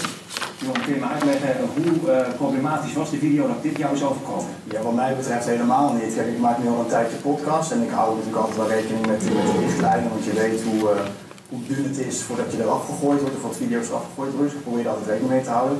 Maar in vergelijking met de video die ik met Wiebel heb opgenomen, daar zijn echt een hele hoop video's geweest waarvan ik meer zou verwachten dat ze richting de richtlijnen aanscheuren. En deze, ik kan me geen enkele reden bedenken ehm, waarom dat zou zijn verwijderd. En sterker nog, ik bedoel, hij was 48 uur online, dus er gingen 60k views en het groeide exponentieel. Dus het groeide zo ontzettend snel en op dat moment is gewoon in één keer die video verwijderd en je krijgt het niet een soort van melding waar het precies aan lag. Alleen dat je de richtlijnen hebben geschonden en eh, ja, dat, ik heb bezwaar ingediend, want het is niet waar. Ik kan ook eh, geen enkele reden bedenken waar dat zou zijn geweest. Ja, en zo vlak voor de verkiezingen, Wieberen, het is eh, vandaag 17 maart, maar twee dagen geleden is het gebeurd. Dat voelt toch als een beïnvloeding van de verkiezingen, want jij spreekt daar als volksvertegenwoordiger en die video, jouw mening, jouw opvatting, jouw politieke opvattingen, die worden gewoon verwijderd van dat platform. Ja, het, is heel raar dat het gewoon precies zo kort voor de verkiezingen gebeurt en dat, dat maakt het eh, dubieus. Want we, hebben al vaker met elkaar gesproken, en, maar nu heb ik echt opgelet van nou, we weten dat dit soort fenomenen spelen. Laten we, er, laten we gewoon een neutrale podcast doen. We gaan eh, proberen binnen de lijntjes te kleuren, want eh, we zitten in- inmiddels in een wereld waarin je dat dus blijkbaar moet doen, hoe erg dat ook is, maar daar hebben rekening mee gehouden. Eh, maar het feit, dat het zo kort van tevoren gebeurt, dat is wat mij betreft beïnvloeding, want het lijkt ook niet voort te komen uit een, een algoritme. Nee. Het is niet zo dat de computer says no, hè, want die heeft iets teruggekeken en dan word je even op, op stilgezet en dan kan je... Nee, dat is er niet. Het is echt actief, blijkbaar iemand die heeft gezegd, nou, eh, dit, eh, dit gaan we eens even zo doen. Ja, en om jullie een indruk te geven van eh, wat er dan allemaal het daglicht niet kon verdragen, hebben we een korte compilatie. Ja, ik vind dat angst echt misgebruikt als wapen en ik vind dat echt, eh, ja, ik vind dat echt verwerpelijk. En dat overkomt al die ministers. hè, voor de camera, anderhalve meter, eh, mondkapje en allemaal druk doen. En, en, en achter de schermen niks. Die jongeren zitten thuis, de ondernemers die kunnen afscheid nemen van, van hun bedrijf, eh, verkopen hun, hun, hun woning om nog een beetje te kunnen overleven, slapen in onze zaak. Dus het is echt verschrikkelijk. En, en, maar men heeft nog steeds het idee dat doet voor iets goeds, hè, namelijk om ouderen te beschermen, dat is natuurlijk helemaal niet meer waar. En wij zijn er niet voor de overheid, jullie zijn er voor ons. Door de staatspropaganda eindeloos geïndoctrineerd. Dat het klimaat echt een heel groot probleem is en dat het niet uitmaakt wat het kost. We moeten het eh, oplossen, want anders eh, hebben we straks een zeespiegelstijging van gigantisch veel en dan, dan bestaat Nederland niet meer. Dat is een beetje het idee. Dat is echt aantoonbaar onzin. Het is ook belachelijk dat we nu een soort kant uit worden gedwongen waarbij, eh, waarbij je wel een directe vaccinatieplicht krijgt door zo'n coronapaspoort. Het gedachtegoed waar zij in D66 voor staan, ja, dat vind ik verschrikkelijk. Nee, ik vind D66 een, echt een hele enge partij. Gaat de staat over je kinderen beslissen, de staat gaat beslissen of je gevaccineerd wordt, de staat gaat beslissen eh, hoe het schoolsysteem eruit ziet. Ja, en- het is echt een soort, eh, bijna een soort kleine marxistische revolutie waar je dan in zit. En dat, dat willen wij niet. Met die mondkapjes is het natuurlijk de grootste farce die we hebben beleefd. Waarom zou je gezond iemand vaccineren als je weet dat diegene nooit aan corona of griep zou overlijden? ehm, je nog steeds corona kan krijgen, maar dan ietsje minder. Je kan nog steeds besmettelijk zijn. Dus, dus dat slaat helemaal nergens op. Ga jij laten vaccineren? Nee, natuurlijk niet. Ja, als, als een Mark Rutte of een Hugo de Jonge daar gaat staan, want er staan wel mensen die alles kwijt zijn. Voor niks. Door de maatregelen, niet door het coronavirus, door de maatregelen. En dat was een promo van een video die dus geband is. En ik hoor hier allemaal dingen die jij ook in de Tweede Kamer al gezegd hebt. Van jouw opvattingen als volksvertegenwoordiger die je naar buiten brengt omdat je meedoet aan de verkiezingen nota bene. Maar YouTube zegt nu, ho. Nou, kijk, als ik het nu weer terugzie, dan. eh, want je weet niet alles meer wat je hebt gezegd, maar als ik dit zo terugzie. Dan Nou, ik heb de podcast integraal geluisterd en ik heb daar niks schokkends gehoord. Nee, ik hoor Nee, maar- dingen die jij dagelijks in de Kamer roept. Nee maar, nee, maar deze dingen dat zijn precies verkiezingsthema's. Ja. de D66 vindt iets anders, eh, de Partij voor de Dieren vindt iets anders, eh, de PVV vindt iets anders en wij vinden dit. Eh, En, en het is ook een, eh, een beetje een waterscheiding, want op corona, zijn wij gewoon, mm, zitten wij aan de ene kant van het spectrum en alle andere partijen zitten aan de andere kant van het spectrum. Wij willen onze vrijheid weer terug, we willen stoppen met die maatregelen, we willen Nederland weer vrij laten, we willen opschalen in de zorg.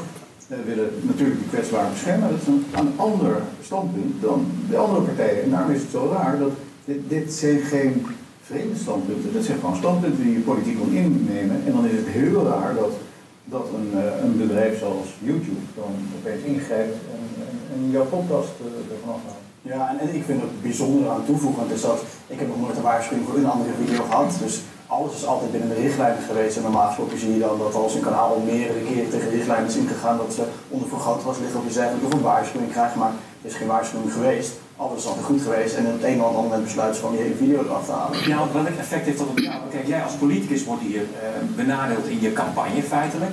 Maar jij als journalist of als programmamaker eh, hebt een beperking in je vrijheid Ja. van meningsuiting, je persvrijheid eigenlijk. Nou, ik was woest, maar ik, ik was in eerste instantie natuurlijk woest omdat het van mijn kanaal gehaald, gehaald werd. En het is, eh, de video ging heel erg snel, dus het was enorm goed voor mijn kanaal. Ook los Ja, van maar het er was 60.000 keer naar gekeken. geloof ik. 60 k naar gekeken en dat, dat groeide door. En ik zag het ook aan mijn volgers die groeiden. Dus ik bedoel, voor mijzelf persoonlijk was ik daar natuurlijk boos over. Maar waar ik nog, ik werd eigenlijk, werd ik op dat moment, ik werd bijna onrustig ervan. Want ik merkte nu hoe dichtbij het kwam, die censuur. En dat je bedenken dat dat iets is van landen, van, van andere soort landen en China en dergelijke. Maar het gebeurt gewoon verdomme in Nederland. En ik werd dus voor mijn kanaal vond ik het vervelend, maar ik was eigenlijk op dat moment bekropen van een angstgevoel. Want ik dacht van, ja, maar dit is niet de maatschappij waarin we moeten willen leven. Want ik wist wat de inhoud was van die podcast. En ik wist dat dat gewoon echt een goede podcast was. En als grote techbedrijven zoveel macht naar zich toe trekken en dit soort censuuracties gaan uithalen. ik vind dat heel eng. Ik, zou, ik wil, in zo'n land wil ik niet leven. Ik hoop echt dat heel veel mensen dit gaan zien en denken van, joh, maar dit gaat echt te ver. Ja, en het is al eerder gebeurd. We hebben al eens vaker uh, bij elkaar gezeten. Ja, precies. vorige keer uh, uh, over een LinkedIn-account dat verwijderd was. Hè, dat dus in één keer een beperking had. Is dat inmiddels opgelost met LinkedIn? Ben je daar weer ja, actief? Nou, dat is wel opgelost. Maar dat, dat was ook een, een raar moment. Je probeert campagne te voeren. Je probeert je standpunt voor het voetlicht te krijgen. En ik weet niet meer precies waar het toen over ging. Maar volgens mij heb ik toen iets gepost uh, van een verandering in het standpunt van de WHO, hè, de Wereldgezondheidsorganisatie. Die zeiden uh, eerst van nou, uh, we hebben te maken met een soort ebola-achtig virus en, en de mortaliteitscijfer is heel hoog. En toen zeiden ze, nou oké, we hebben een ander document en dat posten ze toen. En toen werd de IFR werd 0,23 procent. Nou, dat heb ik toen gepost. dat lijkt mij prima. Maar LinkedIn zegt, nee, je mag niets posten wat tegen de richtlijnen van de WHO ingaat. Maar de WHO is ook een vloeibare organisatie, die worden ook verstandig. Dit was van de WHO zelf. Ja, en, en dan is het algoritme van LinkedIn, ja, voor zover het een algoritme is, dat weet ik niet. Maar die, zegt dan, ja, de, de, de, onze informatie van de WHO is nog anders, dus je wordt er afgegooid. En dat, dat, dat dupeert je in je functioneren van, van als Kamerlid, maar het is ook natuurlijk gewoon totaal ondemocratisch. En ik hoop zo dat het een algoritme is, maar ik heb echt het gevoel dat, nou, zelfs als het een algoritme is, dat wordt ook nog door mensen gemaakt. Ja, maar, maar nu, vlak voor de verkiezingen, al dit soort grappen uithalen, ja, dat is, dat is gewoon ronduit de invloeding van de verkiezingen. Ja, het lijkt heel persoonlijk te zijn, hè? want jij had net het woord IFR al in de mond en jij hebt ook een video op je eigen YouTube-account gepost, waarin jij in een technische briefing met Jaan van Distel vragen stelt over die IFR. Daar gaan we even naar kijken. Die video die is ook verwijderd. Hè? Ja. En het gaat om deze video. Ja, ik worstel nog een beetje met die IFR's, want ik, uh, ik zeg altijd dat de IFR van COVID vergelijkbaar is met die van een zware griep. Maar ja, er zijn zoveel verschillende getallen in omloop. Hè. Dus de Wereldgezondheidsorganisatie zegt 0,23% en dan kunt u misschien aangeven wat het dan voor Nederland exact is, wat voor de wereld exact is en of het toch in dezelfde orde van grootte zit. Dank u wel, de heer Van Dissel. Nou ja, dat kan ik alleen maar weer zeggen met eigenlijk verwijzing naar het antwoord net. Want je wil dan natuurlijk de totale groep die het heeft gehad in de noemer hebben. De teller die is, die kan je op het maximum zetten van de oversterfte van afgelopen jaar. En die twee delen en dan kom je inderdaad op, op percentages zoals u dat ongeveer noemt. Ja, de pijnlijke waarheid over de IFR, ja, van Dissel geeft feitelijk toe dat de percentages die jij noemde, 0,23, die dus niet heel ver van de griep afstaat, dat dat correct is, hè, als het dan gaat over de IFR van corona. Ja. Nou, het, het, het gekke is natuurlijk, je bent continu ben je aan het proberen om die getallen te waarderen. En dan merk je dat er vanuit het kabinet heel erg op angst wordt uh, gespeeld. Hè. Dus er worden heel, veel absolute getallen gebruikt. Hè. Het aantal besmettingen gaat omhoog. Maar dat is natuurlijk helemaal niet interessant. Hè. Maurice de Hond die laat meteen ja, het aantal besmettingen gaat omhoog. Maar ja, het aantal testen is veel meer dan de context. Ja. Nou, het gaat om het percentage positieve testen, als je al in die test gelooft. Maar als je dat als graadmeter neemt, dan gaat het om het aantal positieve testen, of het percentage, niet om het absolute aantal. Maar in dit geval, uh, ja, wij roepen al heel erg lang dat die IFR, de Infection Fatality Rate, dat die vergelijkbaar is met die van een stevige griep. Maar dat is een feit. Dat heeft, dat heeft de WHO gecommuniceerd. Ja, maar als je kan tellen, dan concludeer je dat.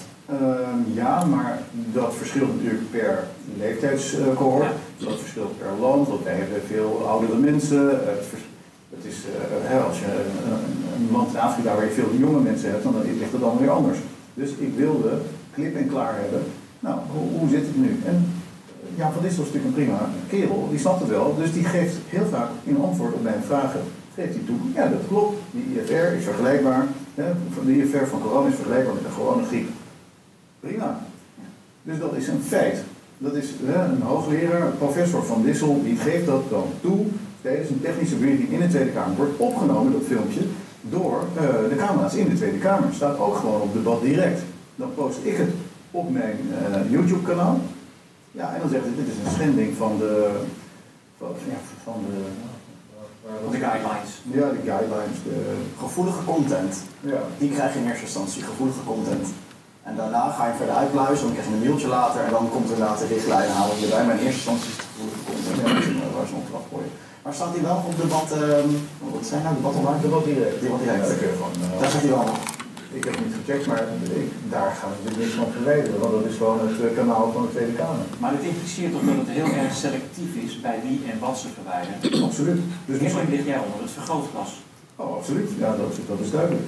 Uh, alleen de vraag is natuurlijk, ja, wie programmeert die algoritmes zodat ze mee in de gaten gaan houden en vlak voor de verkiezingen blijkbaar nog meer in de gaten gaan houden en dan zo'n volstrekt neutrale, uh, vraag, een neutraal antwoord van Van Dissel uh, weghalen. We willen blijkbaar niet dat dat gezien wordt. En het, het aardige is natuurlijk dat het, het averechts werkt. Want nu wil iedereen opeens dit stukje zien. Ja. Ik opende bij de uitzending natuurlijk met de vraag hoe betrouwbaar zijn deze verkiezingen nog? Hè? Want ik zou denken dat we hier ongeveer kunnen stoppen. Hè? Ja, ik ook. De banning van video's. En dan gaan we nu nog even naar 29. Er zijn ook heel veel poststemmen. Minuut 29.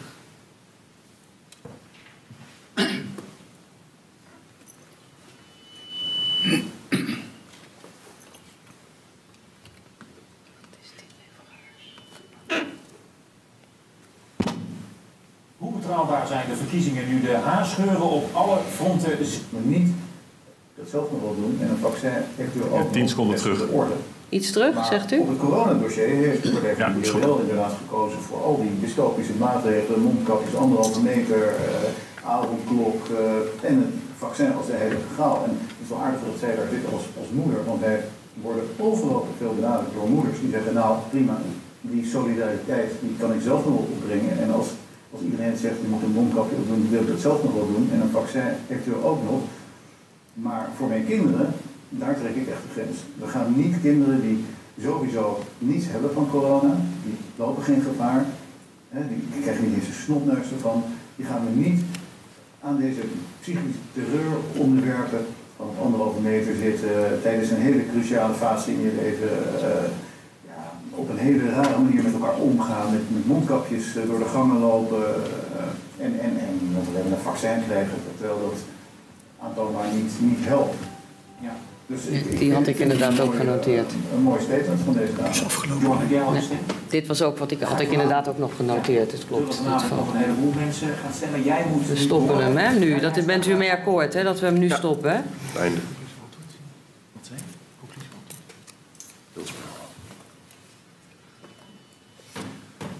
um, Dan kan ik verder gaan. Um, het interview heeft het eerste deel daarvan in ieder geval, met name betrekking op de machtspositie van partijen als Google en YouTube, ook LinkedIn wordt besproken, op ons dagelijks leven en de gevaren daarvan. Zeker wanneer een dergelijke partij gaat bepalen wat wel en niet onderdeel van het publieke debat mag zijn. Daar gaat het interview over. Uh, zijdelings komen er ook onderwerpen aan de orde uh, waar uh, meneer Van Haga campagne opvoert. Daar worden verder geen uh, onjuistheden bij vermeld. Daar wordt gewoon de mening weergegeven van Kamerlid van Haga.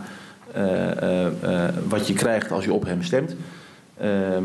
maar daar, daar, wordt daar, worden verder geen feiten genoemd die, die onjuist of onwaar zijn.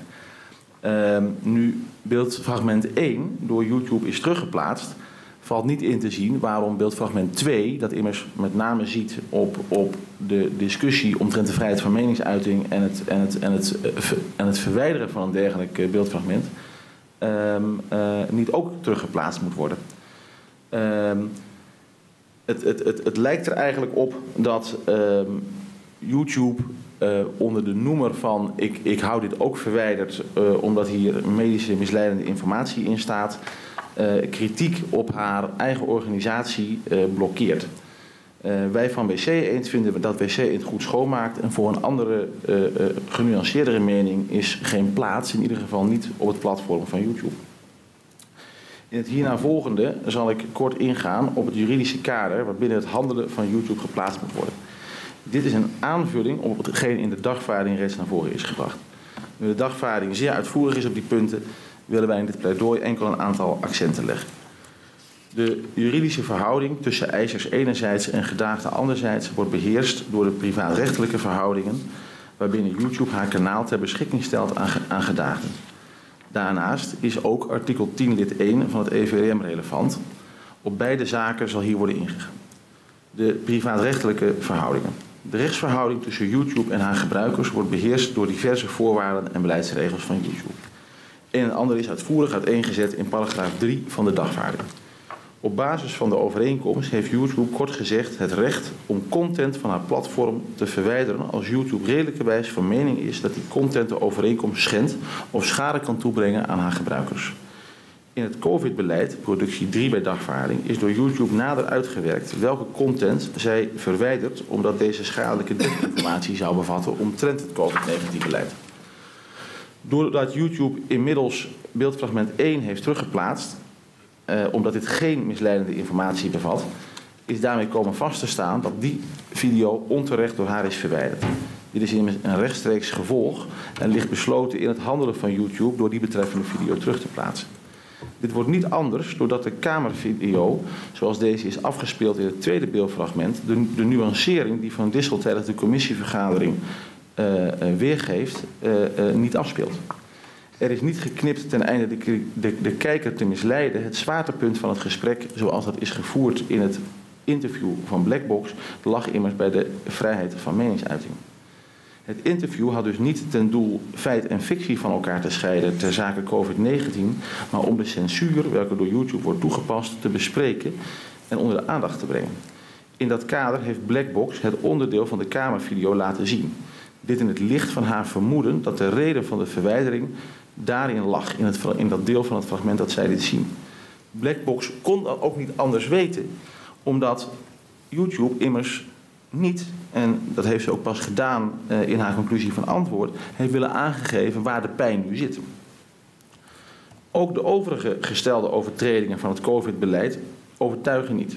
YouTube meent dat in strijd met haar beleid is geclaimd dat mondkapjes geen rol spelen in het voorkomen van besmettingen of de, of de verspreiding van het COVID-virus.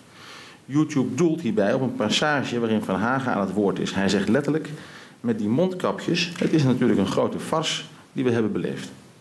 Daarmee zegt hij niet dat de mondkapjes geen rol spelen in het voorkomen van besmettingen. Hij, geeft dat ook niet, hij heeft dat ook niet bedoeld te zeggen. Rode draad is het standpunt van Van Haga, sorry, de rode draad in het standpunt van Van Haga is dat de door de overheid getroffen maatregelen buitenproportioneel zijn en te veel schade aanrichten ten opzichte van de gevaren van COVID-19. In dat kader is hij ook van oordeel dat de mondkapjesplicht een buitenproportionele maatregel is. Dat is waar hij op doelt met de term vars. Geen zin zegt hij dat mondkapjes geen rol spelen bij de voorkoming van besmettingen. Het volgende verwijt dat YouTube aan Van Hagen maakt aangaande het verwijderde beeldfragment is dat hij zou claimen dat vaccinatie geen effectieve manier is om de verspreiding van het COVID-virus tegen te gaan.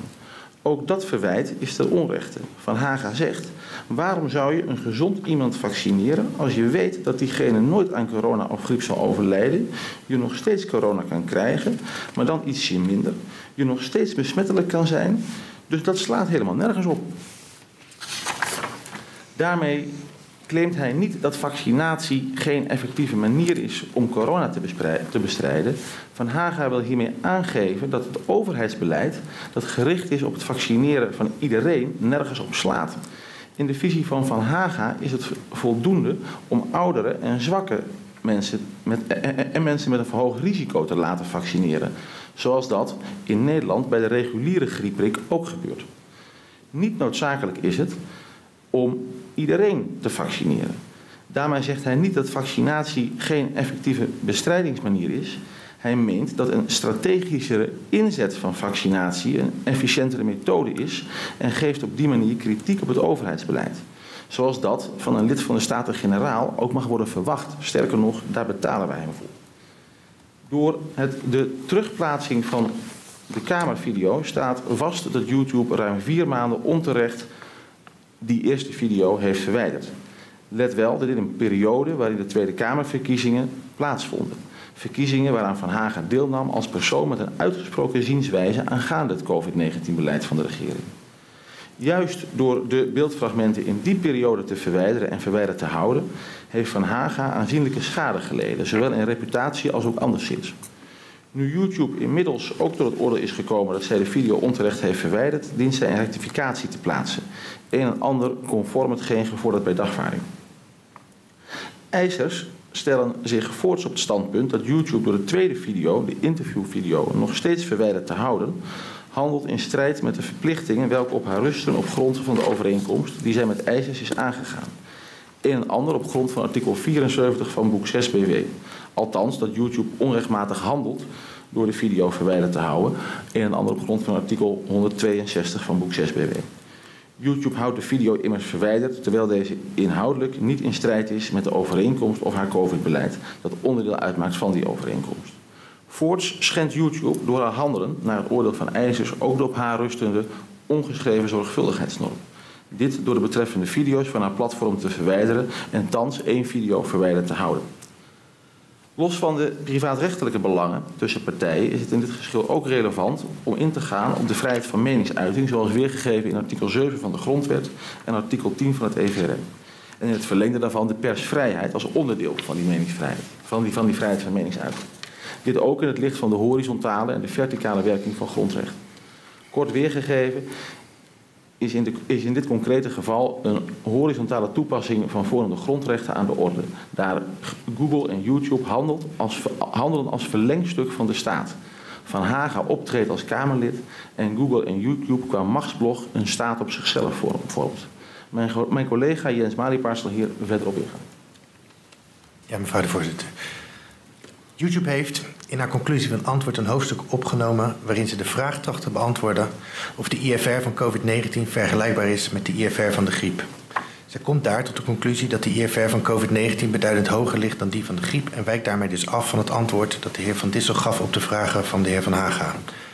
Als productie 12 overlegde eisen een onderzoek naar de IFR van COVID-19 door de heer John Ionadidis waarin wordt geconcludeerd dat de IFR zelfs nog lager ligt dan de door Van Haga genoemde 0,23%, te weten 0,15%. Voor zover ik heb begrepen is het vaststellen van de IFR van een bepaald virus geen sinds eenvoudig.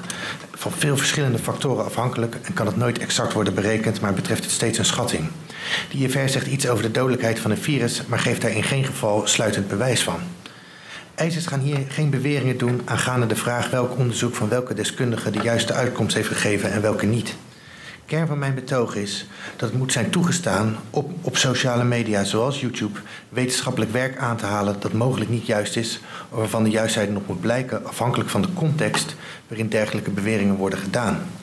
Indien het de intentie is om de gebruikers van YouTube te misleiden, bijvoorbeeld met als doel bepaalde niet werkende producten te verkopen, is dat een geheel andere situatie dan wanneer de intentie eruit bestaat vraagtekens te stellen bij de proportionaliteit van bepaald overheidshandelen.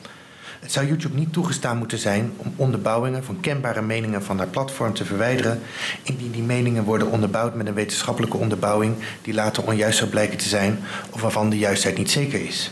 Kern van de boodschap van in dit geval van Haga is immers dat het overheidsoptreden niet proportioneel is. YouTube stelt in rand nummer 45 van de conclusie van antwoord dat zij de stelling dat COVID-19 niet ernstiger is dan een griep gevaarlijk acht, omdat het de kijkers van de video ertoe zou kunnen bewegen dat zij COVID-19 en de overheidsmaatregelen ter bestrijding daarvan minder serieus zouden kunnen nemen. YouTube tracht met haar beleid aldus te bereiken dat haar gebruikers de overheidsmaatregelen serieus nemen. Maar Van Haga, een gekozen volksvertegenwoordiger, voert juist oppositie door onder andere op de disproportionaliteit van diezelfde maatregelen te wijzen.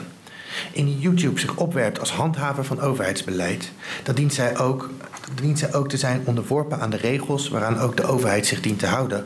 En dat houdt mijn inziens in dat aan gebruikers een rechtstreeks en dus horizontaal beroep op grondrechten zoals de vrijheid van meningsuiting gedaan moet kunnen worden. Dan wel dat het in de afweging tussen het recht op eigendom van YouTube enerzijds en beroep op de vrijheid van meningsuiting anderzijds de vrijheid van meningsuiting zwaarder moet wegen. De kritiek die Van Haga in de Tweede Kamer of in de publieke ruimte geeft op het overheidsbeleid zou ook op YouTube te horen moeten zijn. YouTube heeft zich in deze op het standpunt gesteld dat zij op grond van beleidsregels die zijn uitgevaardigd door de overheid, meer concreet de Europese Unie, gehouden is om het door haar geformuleerde COVID-19-beleid aan de deelnemers van haar platform op te leggen. Door dit handelen wordt YouTube feitelijk een verlengstuk van de staat, hetgeen betekent bij de belangenafweging bij de indirecte horizontale werking meer gewicht moet worden toegekend aan de vrijheid van meningsuiting. Zou de overheid dit beleid zelf hebben gevoerd, dan zou aan de burger direct een beroep op vrijheid van meningsuiting toekomen. Nu sprake is van een indirect beroep, dient een rol te spelen dat het de overheid zelf is die aan YouTube verzoekt om maatregelen te treffen. En aangezien diezelfde overheid niet ingrijpt, ondanks dat er op dit moment op alle sociale mediabedrijven grootschalig censuur wordt toegepast, is de burger aangewezen op de rechter. Dit wordt nog versterkt het feit dat YouTube, en meer in het bijzonder Google, gezien moet worden als een staat op zichzelf. We hebben het hier immers over een bedrijf met een omzet dat groter is dan het bruto nationaal product van menige staat. Dit nog los van de marktpositie van YouTube en de ongekende machtspositie die zij daarmee inneemt. Die machtspositie stelt YouTube in staat een zeer krachtige lobby te voeren, onder andere bij de Europese Unie. Die lobby leidt ertoe dat de door de Europese Unie gesignaleerde noodzaak voor de aanpak van misinformatie via zelfregulering door YouTube zelf wordt uitgevoerd. YouTube geeft uitvoering aan die zelfregulering door video's van haar platform te verwijderen. In randnummer 11 van de conclusie van antwoord stelt YouTube dat Europa betreffende een oplossing voor het probleem aangaande misinformatie onder andere naar online platforms zoals YouTube kijkt. Dat is de omgekeerde wereld. De online platforms zoals YouTube en Facebook zijn juist de oorzaak van het probleem in zaken misinformatie. Desinformatie en misinformatie is van alle tijden en zal ook in de toekomst nog aanwezig zijn. Er bestaat in de wereld geen objectieve waarheid en niemand kan een claim op die gepretendeerde waarheid leggen. Het probleem aangaande desinformatie en misinformatie is in deze tijd echter zo groot geworden doordat de algoritmes van YouTube en Facebook gecombineerd met hun enorme bereik een massale verspreiding van desinformatie mogelijk maken. Die algoritmes hebben steeds een commercieel doel, te weten het verkopen van zoveel mogelijk op de persoon toegesneden advertenties. Als gevolg van deze algoritmes kunnen gebruikers in een zogenaamde bubbel terechtkomen, waarbij ze geen kennis meer nemen van andersluidende berichten. Iemand die niet de moeite doet om ook alternatieve nieuwsbronnen te raadplegen, of bij wie door YouTube geen alternatieve bronnen worden getoond, kan zo ideeën ontwikkelen die niet of nauwelijks meer enige grond hebben in de werkelijkheid. Voor YouTube is het veel eenvoudiger om informatie te verwijderen en daarbij met een soort sleepnet ook alle andere compleet legale meningen en standpunten van goedbedoelende burgers te verwijderen, dan om haar algoritmes zo aan te passen dat haar gebruikers niet in de bubbel terechtkomen en zij ook kennis nemen van andersluidende standpunten en nieuwsberichten. De bubbel is een bijproduct van de commerciële drijfveren van het verdienmodel van YouTube. Zij heeft dit niet zozeer beoogd, maar zit er kennelijk ook niet op te wachten dat dit verdienmodel wordt aangepast, omdat daardoor de advertenties minder op de gebruiker toegesneden kunnen worden. Dit is de werkelijke oorzaak van het probleem in zaken misinformatie. Door dit probleem niet bij de wortel, te weten de algoritmes aan te pakken, maar door specifieke informatie te verwijderen, wordt slechts aan symptoombestrijding gedaan. Deze symptoombespreiding heeft ook nog eens een zeer onwenselijk bijeffect, te weten dat specifieke individuen wel in staat worden gesteld om een mening op het platform van YouTube te delen en daarmee te profiteren van de kracht en het bereik van diezelfde algoritmes en andere personen niet. Zeker in een politiek discours, zoals in de onderhavige zaken het geval is, leidt dat tot een volstrekt ongelijk speelveld. Waar politici die zich ten volle achter de coronamaatregelen scharen ongehinderd kunnen posten indien zij dat willen, worden politici die kritiek hebben op dit beleid beduidend minder gehoord. En als eisers YouTube goed begrijpen, is dat kennelijk ook de bedoeling, omdat zij van oordeel is dat het gevaarlijk is indien er mededelingen worden gedaan die ertoe zouden kunnen leiden dat de overheidsmaatregelen minder serieus worden genomen. Hierdoor loopt de democratische rechtsstaat, waarvan het vrijheid van meningsuiting een onderdeel uitmaakt, een deuk op.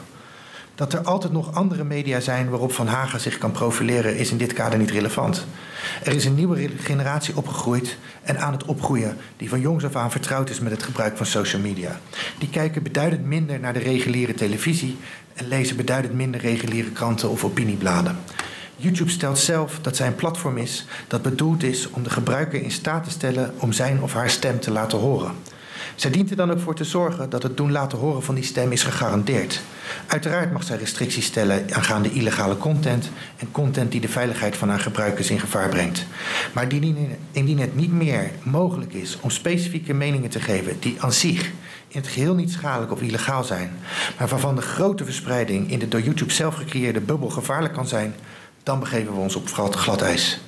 En ter illustratie daarvan heb ik als productie 11 een wetenschappelijk onderzoek overgelegd.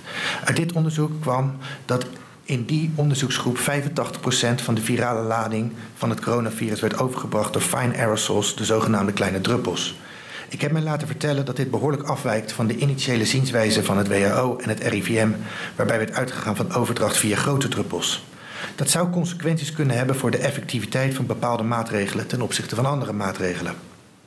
Men zou zich bijvoorbeeld de vraag kunnen stellen in hoeverre bijvoorbeeld maatregelen waarbij het buitensporten werd verboden wel effectief zijn geweest, zeker indien dit afgezet wordt tegen het minder bewegen van mensen. Dit voorbeeld dient slechts ter illustratie dat ook de zienswijze van het RIVM of de WHO of de Nederlandse overheid of anderszins niet in beton gegoten zijn. YouTube verbiedt berichten die de efficiëntie van lokale autoriteiten betreffende social distance, sociale afstand, in twijfel trekken. Indien de uitkomsten van het rapport als gevolg van meerdere wetenschappelijke studies wetenschappelijk komt vast te staan, doet dat ook vragen oproepen over de effectiviteit van die sociale afstand. Dat creëert de mogelijkheid dat YouTube ten onrechte kritische informatie hieromtrent verwijdert en verwijderd heeft. En dat de vrijheid van meningsuiting dus geweld is aangedaan met een compleet onterecht beroep op de volksgezondheid. Uitgangspunt dient dan ook te zijn dat de vrijheid van meningsuiting op YouTube zwaar dient te wegen. Hieruit bestaat ook de kritiek die eisers hebben op de uitspraak van uw rechtbank van 13 oktober 2020 in het kort geding tegen Facebook. Daar werd in rechtsoverweging 4.24 overwogen dat voor een gegrond beroep op de strijd met redelijkheid en billijkheid ten aanzien van de verwijdering van een video de lat hoog ligt. Een enkel beroep op de vrijheid van meningsuiting zou niet voldoende zijn. In die zaak werd geoordeeld dat uitgangspunt moet zijn dat Facebook in dit geval niet onredelijk handelt door haar beleid in lijn met de oproep van de Europese Commissie toe te passen. Als dat niet tot uitgangspunt zou worden genomen, zou Facebook in een onmogelijke positie komen te verkeren. Enerzijds de maatschappelijke plicht om te voldoen aan de oproep van de Europese Commissie en anderzijds het beroep op onbeperkte vrijheid van meningsuiting op haar platform. Die lat behoort, gezien het bovenstaande, nu juist wel niet zeer hoog te liggen. YouTube en Facebook hebben een maatschappelijke plicht om de vrijheid van meningsuiting voor legale content te respecteren als gevolg van hun dominante positie in de markt en hun enorme bijdrage aan het publieke debat. Zij pretenderen ieder de mogelijkheid te geven hun stem te laten horen, dan dient ingrijpen in die vrijheid van meningsuiting niet lichtvaardig plaats te vinden. YouTube komt niet in een onmogelijke positie te verkeren indien zij niet lichtzinnig mag verwijderen. Zij kan de oproep vanuit Europa ook op een geheel andere wijze invullen. Zij kiest er zelf voor uitvoering te geven aan de wens van Europa door op grote schaal censuur toe te passen ten aanzien van allerhande onschuldige en legale meningen en zienswijzen. Dat er geen, nog geen regulerende wetgeving bestaat en dat er tot op heden wordt gekozen voor zelfregulering door YouTube, brengt een grotere verantwoordelijkheid voor YouTube met zich mee aangaande die vrijheid van meningsuiting van haar eigen gebruikers. Anders dan in de zaak tegen Facebook werd geoordeeld, behoort op YouTube of Facebook juist wel een positieve verplichting te rusten tot bescherming van die vrijheid van meningsuiting. Dit zijn de grootste bedrijven ter wereld. Waar op Shell een verplichting kan worden gelegd om meer te doen ten einde specifieke milieudoelstellingen te halen, mag van YouTube en Facebook worden verwacht dat zij meer doen om de vrijheid van meningsuiting te waarborgen. In de interviewvideo worden allerhande verschillende meningen geuit door zowel de interviewer, de heer Paschino, als de gast, de heer Van Haga, onder andere over de door YouTube toegepaste censuur omdat er een bepaalde opmerking is die volgens YouTube niet conform haar eigen beleid zou zijn, wordt direct de hele video, inclusief alle overige meningen, verwijderd. Dat kan ook heel goed anders aangepakt worden. Bijvoorbeeld door toepassen van banners aangaande de gevraagde uitlatingen, zoals nu ook gebruikelijk is op Twitter. YouTube zelf zelf dat over bepaalde video's door verschillende redelijk denkende mensen anders gedacht kan worden. Dat dient steeds reden te zijn om niet tot verwijdering over te gaan. Pas indien duidelijk is dat iemand tracht op grond van onjuiste, doch verder niet illegale informatie schade te brokkenen, dan mag er worden ingegrepen. Maar die lat behoort hoog te liggen. De voorkeur dient gegeven te worden aan de vrijheid van meningsuiting. Dat is de positieve verplichting die op YouTube en Facebook kan worden gelegd. Daarbij dient bedacht te worden dat de hoeveelheid verwijderde video's op dit moment heel erg groot is. Voor veel gebruikers loont het de moeite niet om YouTube daarop in rechten aan te spreken. Laat staan dat het de moeite zou lonen om de staat aan te spreken om meer te doen om de verschillende big tech bedrijven de vrijheid van meningsuiting te laten respecteren, nog los van alle juridische complicaties die daarbij komen kijken. Het maatschappelijke belang van dit onderwerp kan moeilijk worden onderschat. Bij VPRO Zomergasten werd afgelopen zondag zijdelings ook aandacht besteed door Roxana van Iperen. Zij melden dat TikTok een beleid voert waarbij dikke, lelijke en gehandicapte mensen worden achtergesteld ten opzichte van knappe, slanke en fitte mensen. YouTube is geen TikTok, maar, maar, partijen zijn wel vergelijkbaar als gevolg in het massale gebruik ervan. Kritiek op overheden is belangrijk, ook in tijden van een pandemie en ook als die kritiek feitelijke onjuistheden blijkt te bevatten. Een situatie waarin dit niet meer mogelijk is, doet meer schade aan de democratische rechtszaak dan, rechtsstaat dan eventuele feitelijke onjuistheden die op social media worden verspreid. In het licht van bovenstaande kan in deze casus ook artikel 71 van de grondwet niet onbesproken blijven. Artikel 71 van de Grondwet schrijft voor dat de leden van de Staten-Generaal niet in rechten kunnen worden vervolgd of aangesproken voor hetgeen zij in vergaderingen van de Staten-Generaal of van commissies daaruit hebben gezegd. Dit artikel heeft ook betrekking op civielrechtelijke aansprakelijkheid. Hoewel Van Haga in dit geval niet civielrechtelijk wordt aangesproken, doet hij in dit geval wel een beroep op de civielrechtelijke bescherming van zijn parlementaire immuniteit. Meer concreet, Van Haga stelt dat hem in dit geval op grond van zijn grondwettelijke immuniteit een zwaarwegend belang toekomt op zijn vrijheid van meningsuiting. Dit alles tegen de achtergrond waarbij Van Haga als politicus een extra zwaarwegend belang heeft bij zijn vrijheid van meningsuiting, of zijn mening nu feitelijk juist is of niet. En daar wou ik nog aan toevoegen dat voor uh, de heer Paschino in principe hetzelfde geldt. Hij heeft natuurlijk geen parlementaire immuniteit, maar meneer Paschino is een journalist. En ook aan journalisten moeten verdergaande vrijheden worden toegekend indien het komt op het uiten van mening en het creëren van opinie. En tenslotte een laatste opmerking over de gevorderde rectificatie. YouTube stelt dat zij geen te rectificeren mededeling heeft gedaan. Dat is niet juist. YouTube maakte publiekelijk dat de video was verwijderd in strijd met de community-richtlijnen. En ieder die via een link naar de website van YouTube ging, werd die mededeling gedaan. Er ontstonden over het hele internet direct veel links naar de betreffende video. Het is ook opgepikt door alle andere media. Dat had YouTube ook mogen verwachten, aangezien zij een video van een gesprek tussen een lid van de Tweede Kamer en de voorzitter van het RIVM verwijderd. De ophef kan voor haar niet als een verrassing zijn gekomen. Nu die video niet in strijd met de community-richtlijnen was, is de gedane mededeling door YouTube als onjuist te kwalificeren en dient de rectificatie mede ter compensatie van het feit dat de video vier maanden niet op de website heeft kunnen staan. En nog een laatste opmerking ter afsluiting. Uh, YouTube heeft, en dan ga ik los van de pleitnota, YouTube heeft ook nog gesteld dat Blackbox geen belang zou hebben bij de door haar ingestelde vordering, omdat zij uh, haar uh, filmpjes op dit moment op een ander platform post. Uh, en um, daar was ik in de pleitnotitie nog niet op ingegaan. Maar ik denk dat het duidelijk is dat uh, ondanks het feit dat Blackbox de censuur op YouTube zat is en haar activiteiten ook op een ander platform vaststelt, dat zij nog steeds ook belang heeft om haar video's op YouTube te kunnen laten blijven zien als gevolg van die enorme marktpositie van YouTube en het enorme bereik dat zij heeft. En dus ook een belang bouwt bij die vordering die is ingesteld. Dank u wel. Meneer, meneer Van Haga of Paschino, wil een van u of allebei nog iets toevoegen op dit moment? Uh, wat ik wel zou willen toevoegen is dat uh, waar uh, Jens Malingpaard net mee afsloot, wij spiegelen onze content nu ook op een ander platform, dat heet Rumble.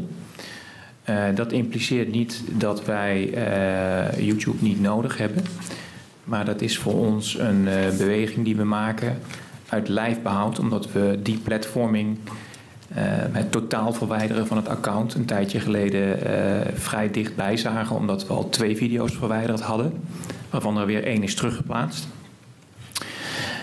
Um, dus dat, dat hangt als een, een, een, een heet hangijzer boven ons hoofd. En dus moeten wij dat soort alternatieve wegen bewandelen. Maar dat is niet onze wens.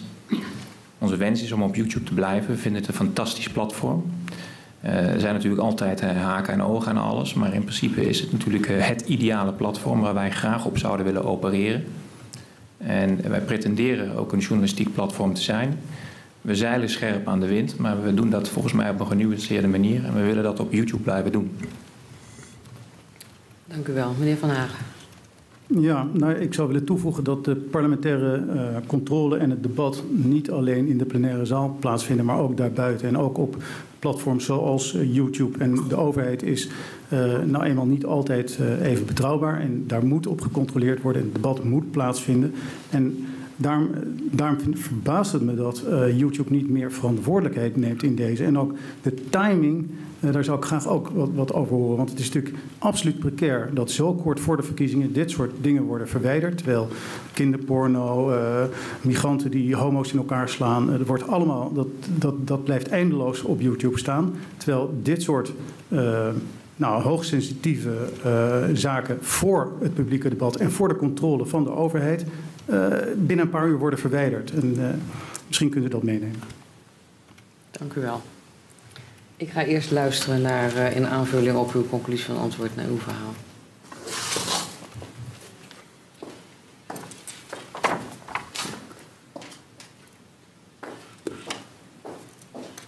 Ja, dank u wel. Dank u. Dat is vooral voor de, de, technische kant van de zaak, maar is ook inhoudelijk wel geïnteresseerd. Ja. Dank je.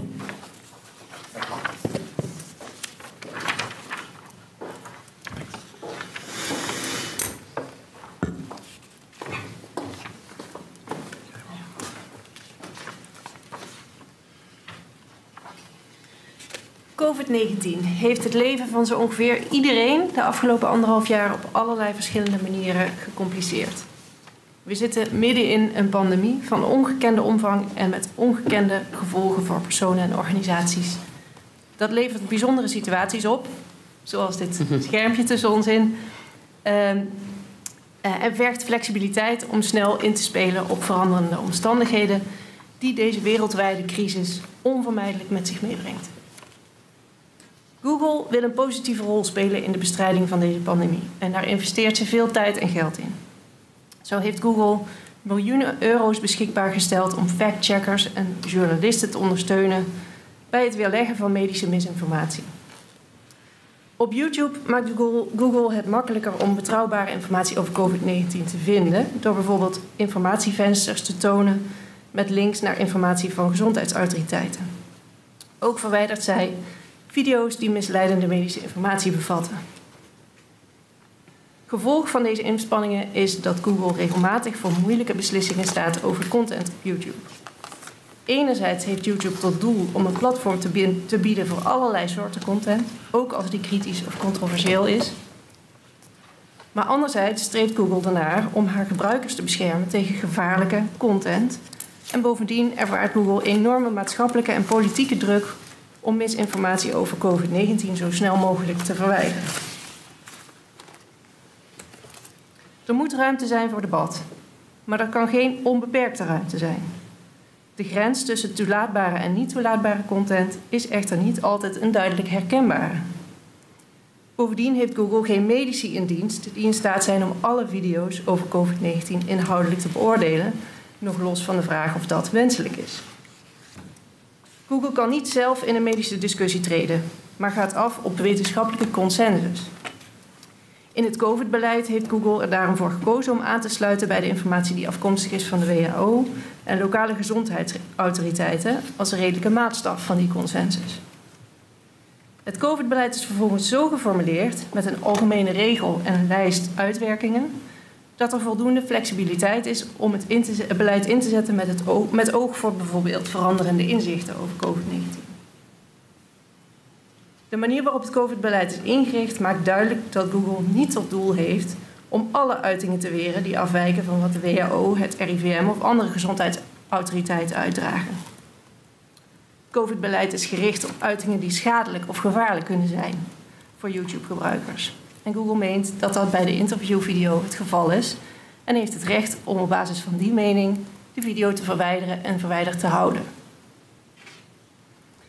In de conclusie van antwoord had ik een tabel opgenomen van uitingen in de interviewvideo en de corresponderende regel uit het COVID-beleid die daarmee geschonden wordt. Daaruit blijkt al dat die video in strijd is met het beleid en dat dat voor eisers ook duidelijk was of had moeten zijn. Eh, overigens is het transcript dat eisers van de interview, interviewvideo overleggen niet volledig. Daar ontbreekt namelijk die tweede helft van de video, die we ook voor een groot deel niet hebben bekeken net. Maar eh, in die tweede helft zit nog wel een relevante stelling en die hebben we net eh, in minuut 29 29 nog even bekeken. Daarin zegt Van Haga onder meer... We gaan, we gaan niet kinderen die sowieso niets hebben van corona, die lopen geen gevaar, die krijgen niet eens een snotneus ervan. Die gaan we niet aan deze psychische terreur onderwerpen van op anderhalve meter zitten tijdens een hele cruciale fase in je leven op een hele rare manier met elkaar omgaan. Met mondkapjes door de gangen lopen en op een gegeven moment een vaccin krijgen, terwijl dat aantoonbaar niet helpt. Nou, ook vanwege deze passage eh, is de video in strijd met het COVID-beleid. Van Haga trekt daarin immers de doeltreffendheid van de anderhalve meter afstand in twijfel. Hij claimt dat vaccinaties niet werken. En hij claimt dat kinderen geen gevaar lopen met betrekking tot COVID-19. Dat zijn allemaal stellingen die rechtstreeks ingaan tegen het COVID-beleid. De relevante passages uit het beleid heb ik daaronder opgenomen. Dan is het nog wel van belang, ga ik heel even buiten de pleitnota om, dat die video, die interviewvideo, niet alleen de kamervideo bevat, maar ook diverse andere stellingen, die ik dus net heb besproken, die ook in die tabel staan. Die andere stellingen zijn ook in strijd met het beleid. Het gaat in die interviewvideo dan ook helemaal niet alleen over de verwijdering door YouTube van die kamervideo. Zoals u hebt kunnen zien, uh, meneer Paschino en meneer Van Haga presenteren ook, in tegenstelling tot wat eisers in 5.5 van het pleitnota zeggen, die cijfers van de, die ze noemen over de IFR als een feit. Letterlijk zeggen ze iets van. Dat, iedereen die kan rekenen, die, die, eh, die weet dat zo en dat is een feit, dat heeft de WHO vastgesteld. Nou, dat, dat is dus niet gepresenteerd als een mening. Vanwege die stellingen uh, in de interviewvideo is deze direct in strijd met het COVID-beleid van YouTube. En kan die video naar het oordeel van Google schade toebrengen aan de gebruikers als bedoeld in de verwijderingsbepalingen in de servicevoorwaarden. Er is een risico dat gebruikers die deze video zien, zullen denken dat COVID-19 niet gevaarlijk is voor hen of voor hun kinderen. Zij zullen mogelijk minder geneigd zijn om de maatregelen na te leven die van overheidswegen zijn opgelegd. Uh, en ze zullen misschien minder geneigd zijn om te kiezen voor een vaccinatie. De Europese Commissie deelt de zorgen van Google over de gevaren van dergelijke informatie. Uh, in, in de mededeling van de Europese Commissie, die we als productie 2 hebben overgelegd, staat bijvoorbeeld: Er circuleren gevaarlijke tips en misleidende gezondheidsinformatie met allerlei valse beweringen, zoals handen wassen helpt niet, of het coronavirus is alleen gevaarlijk voor ouderen. Dergelijke inhoud is niet noodzakelijkerwijs illegaal, maar kan direct levens in gevaar brengen en de inspanningen om de pandemie te beperken sterk ondermijnen.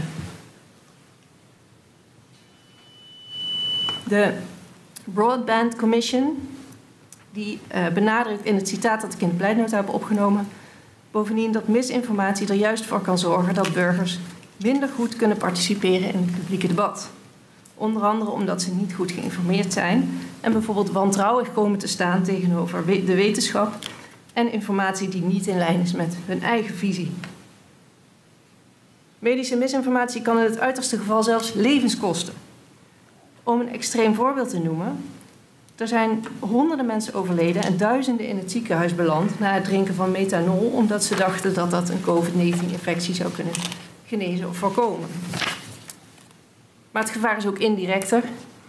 In die zin dat medische misinformatie ertoe kan leiden dat mensen gezondheidsvoorschriften minder goed naleven, waardoor zij zelf besmet raken of anderen besmetten. Ook kan misinformatie ertoe leiden dat mensen niet de juiste medische hulp gaan zoeken. En medische misinformatie is niet alleen gevaarlijk voor de ontvangers van die informatie, maar kan ook een risico opleveren voor derden en de volksgezondheid in het algemeen. Zo was misinformatie over vaccinaties aanleiding voor het bedreigen en intimideren van GGD-personeel en vernielingen bij vaccinatielocaties.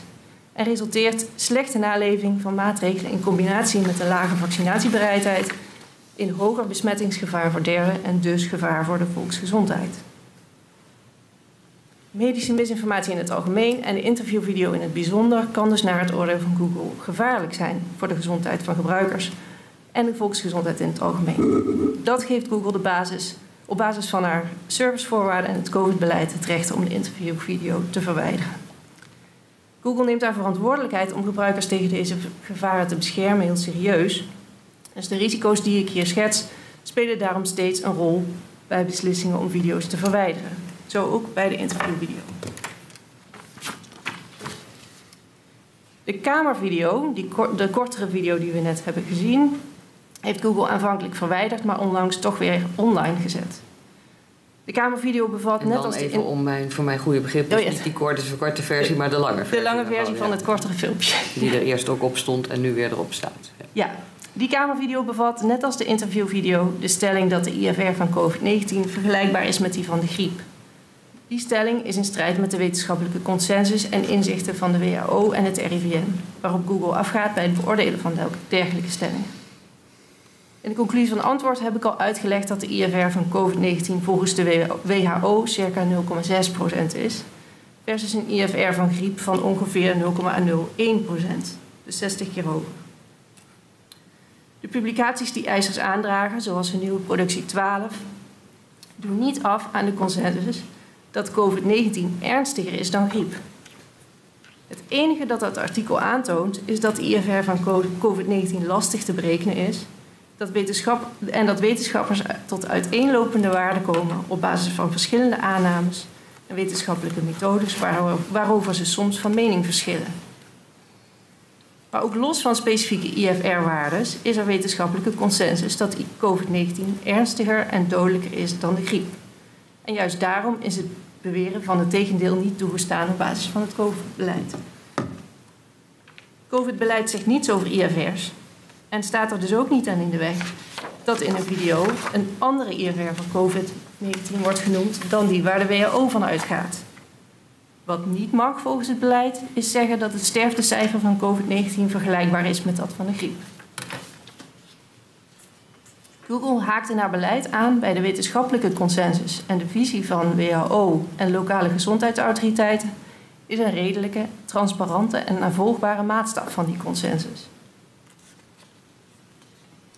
Hoewel Van Haga in de Kamervideo dus ten onrechte stelt dat die IFR van COVID-19 vergelijkbaar is met die van de griep, heeft Google toch besloten om die video weer te herstellen.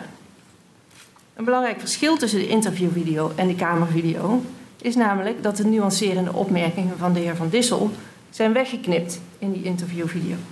Terwijl juist die nuancering maakte dat de video niet in strijd is met het beleid. Zoals in het COVID-beleid staat, uh, is opgenomen, geldt in sommige gevallen dat een video die op zichzelf in strijd is met het beleid toch toegestaan wordt vanwege dergelijke compenserende informatie.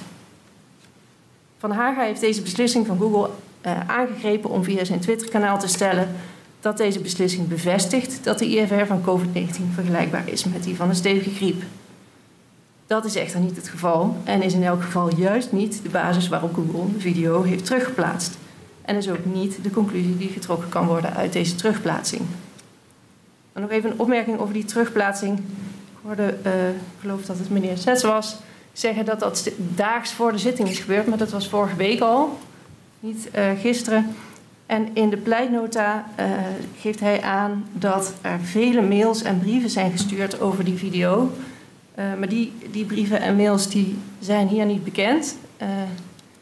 Hier is alleen een bezwaar bekend en vervolgens een sommatiebrief. Maar die sommatiebrief, die zit geloof ik ook in de stukken, die gaat niet over deze kamervideo. Die gaat over de interviewvideo.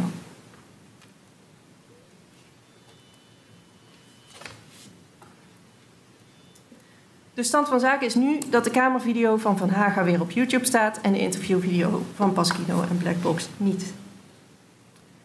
Met haar beslissingen over de Kamervideo en de interviewvideo handelt Google niet in strijd met de overeenkomst tussen haar en eisers en pleegt zij ook geen onrechtmatige daad. Dat heb ik al uitgelegd in de conclusie van antwoord. Anders dan eisers stellen is het feit dat de interviewvideo van YouTube is verwijderd geen daadwerkelijke beperking van hun vrijheid van meningsuiting. Het is voor eisers nog steeds mogelijk om kritiek te uiten op het coronabeleid van het kabinet, ook via YouTube. Een groot aantal video's met dergelijke kritiek is nog altijd te vinden op de YouTube-kanalen van Van Haga en Blackbox. Ook video's met kritiek op het COVID-beleid van YouTube staan nog steeds online. Ik heb een screenshot van het YouTube-account van de heer Van Haga en het YouTube-account van Blackbox opgenomen in de pleitnota. Daar kunt u uh, zien dat er nog diverse video's online staan met kritiek op het coronabeleid van het kabinet. En ook op het account van Blackbox is rechtsboven een video te zien met kritiek op het beleid van YouTube. Eisers kunnen YouTube dus nog steeds gebruiken als platform voor een bijdrage aan het publieke debat over COVID-19. En om kritiek te uiten op het beleid van het kabinet, Google of wie dan ook. De enkele omstandigheid dat YouTube een groot bereik heeft, maakt nog niet dat Google verplicht kan worden om content die in strijd is met haar beleid op haar platform toe te laten. Google heeft haar eigen grondrechtelijk beschermde belangen. En eisers hebben YouTube niet nodig om een recht op uitingsvrijheid effectief uit te oefenen. Dat blijkt uit algemeen bekende en openbare informatie en bovendien uit hun eigen handelen. Zo zijn er diverse andere bestaande online diensten waarop eisers hun video kunnen plaatsen te denken valt aan Facebook, Instagram, Twitter, Vimeo en Dailymotion. Het is ook heel eenvoudig om een eigen website te creëren met video's die niet via externe platforms, maar op eigen server gehost worden. Dat kan from scratch via een gewone internetprovider, succesvol, of met gebruikmaking van allerlei online diensten waarmee met enkele drukken op de knop een complete site wordt aangemaakt, zoals KPN Website Maker en WordPress. Blackbox start uh, binnenkort een eigen nieuwskanaal met als doel om niet meer afhankelijk te zijn van externe dienstverleners als YouTube. Vorige week kondigde Blackbox nog aan dat zij al meer dan 250.000 euro heeft binnengehaald met de crowdfundingcampagne voor een geheel eigen nieuwskanaal, inclusief professionele staf en ruimere studio. Blackbox en Van Haga hebben beide een eigen website en verschillende eigen social media kanalen om die video's uh, te verspreiden. Blackbox heeft op Twitter bijna 30.000 volgers, op Facebook 12.000, op Instagram bijna 10.000. Van Haga heeft op Twitter bijna 55.000 volgers, op Facebook 84.000 en op Instagram ruim 76.000. Dat is een gecombineerd bereik van 270.000 accounts, alleen al via drie social media kanalen. Ter vergelijking, op YouTube heeft Van Haga een kleine 25.000 abonnees. Blackbox plaatst video's die YouTube verwijdert steeds direct weer online met gebruikmaking van andere videoplatformdiensten, zoals Rumble. De interviewvideo heeft Blackbox daar op 18 maart 2021 geplaatst en is al meer dan 60.000 keer bekeken via dat platform. Dat zijn ongeveer evenveel views als de meeste video's op het YouTube-kanaal van Blackbox. Ook recent nog plaatste Blackbox een door YouTube verwijderde video opnieuw online via Rumble, waarna deze video binnen korte tijd ook alweer 40.000 views kreeg. Zo kondigde zij zelf aan op Twitter. IJzers hebben YouTube dus niet nodig om video's online te plaatsen en hebben YouTube ook niet nodig om hun video's bij een groot publiek onder de aandacht te brengen. Ten aanzien van Van Haga geldt in het bijzonder dat hij een belangrijk alternatief kanaal heeft om zijn visie op het coronabeleid van het kabinet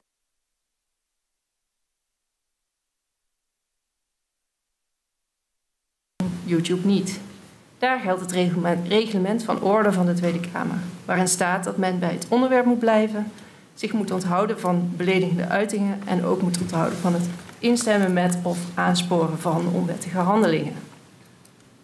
In de Tweede Kamer mag Van Hager dus meer dan op YouTube. En het feit dat Van Hager bepaalde stellingen in de Tweede Kamer mag innemen, wil dus niet zeggen dat hij dat ook op YouTube mag.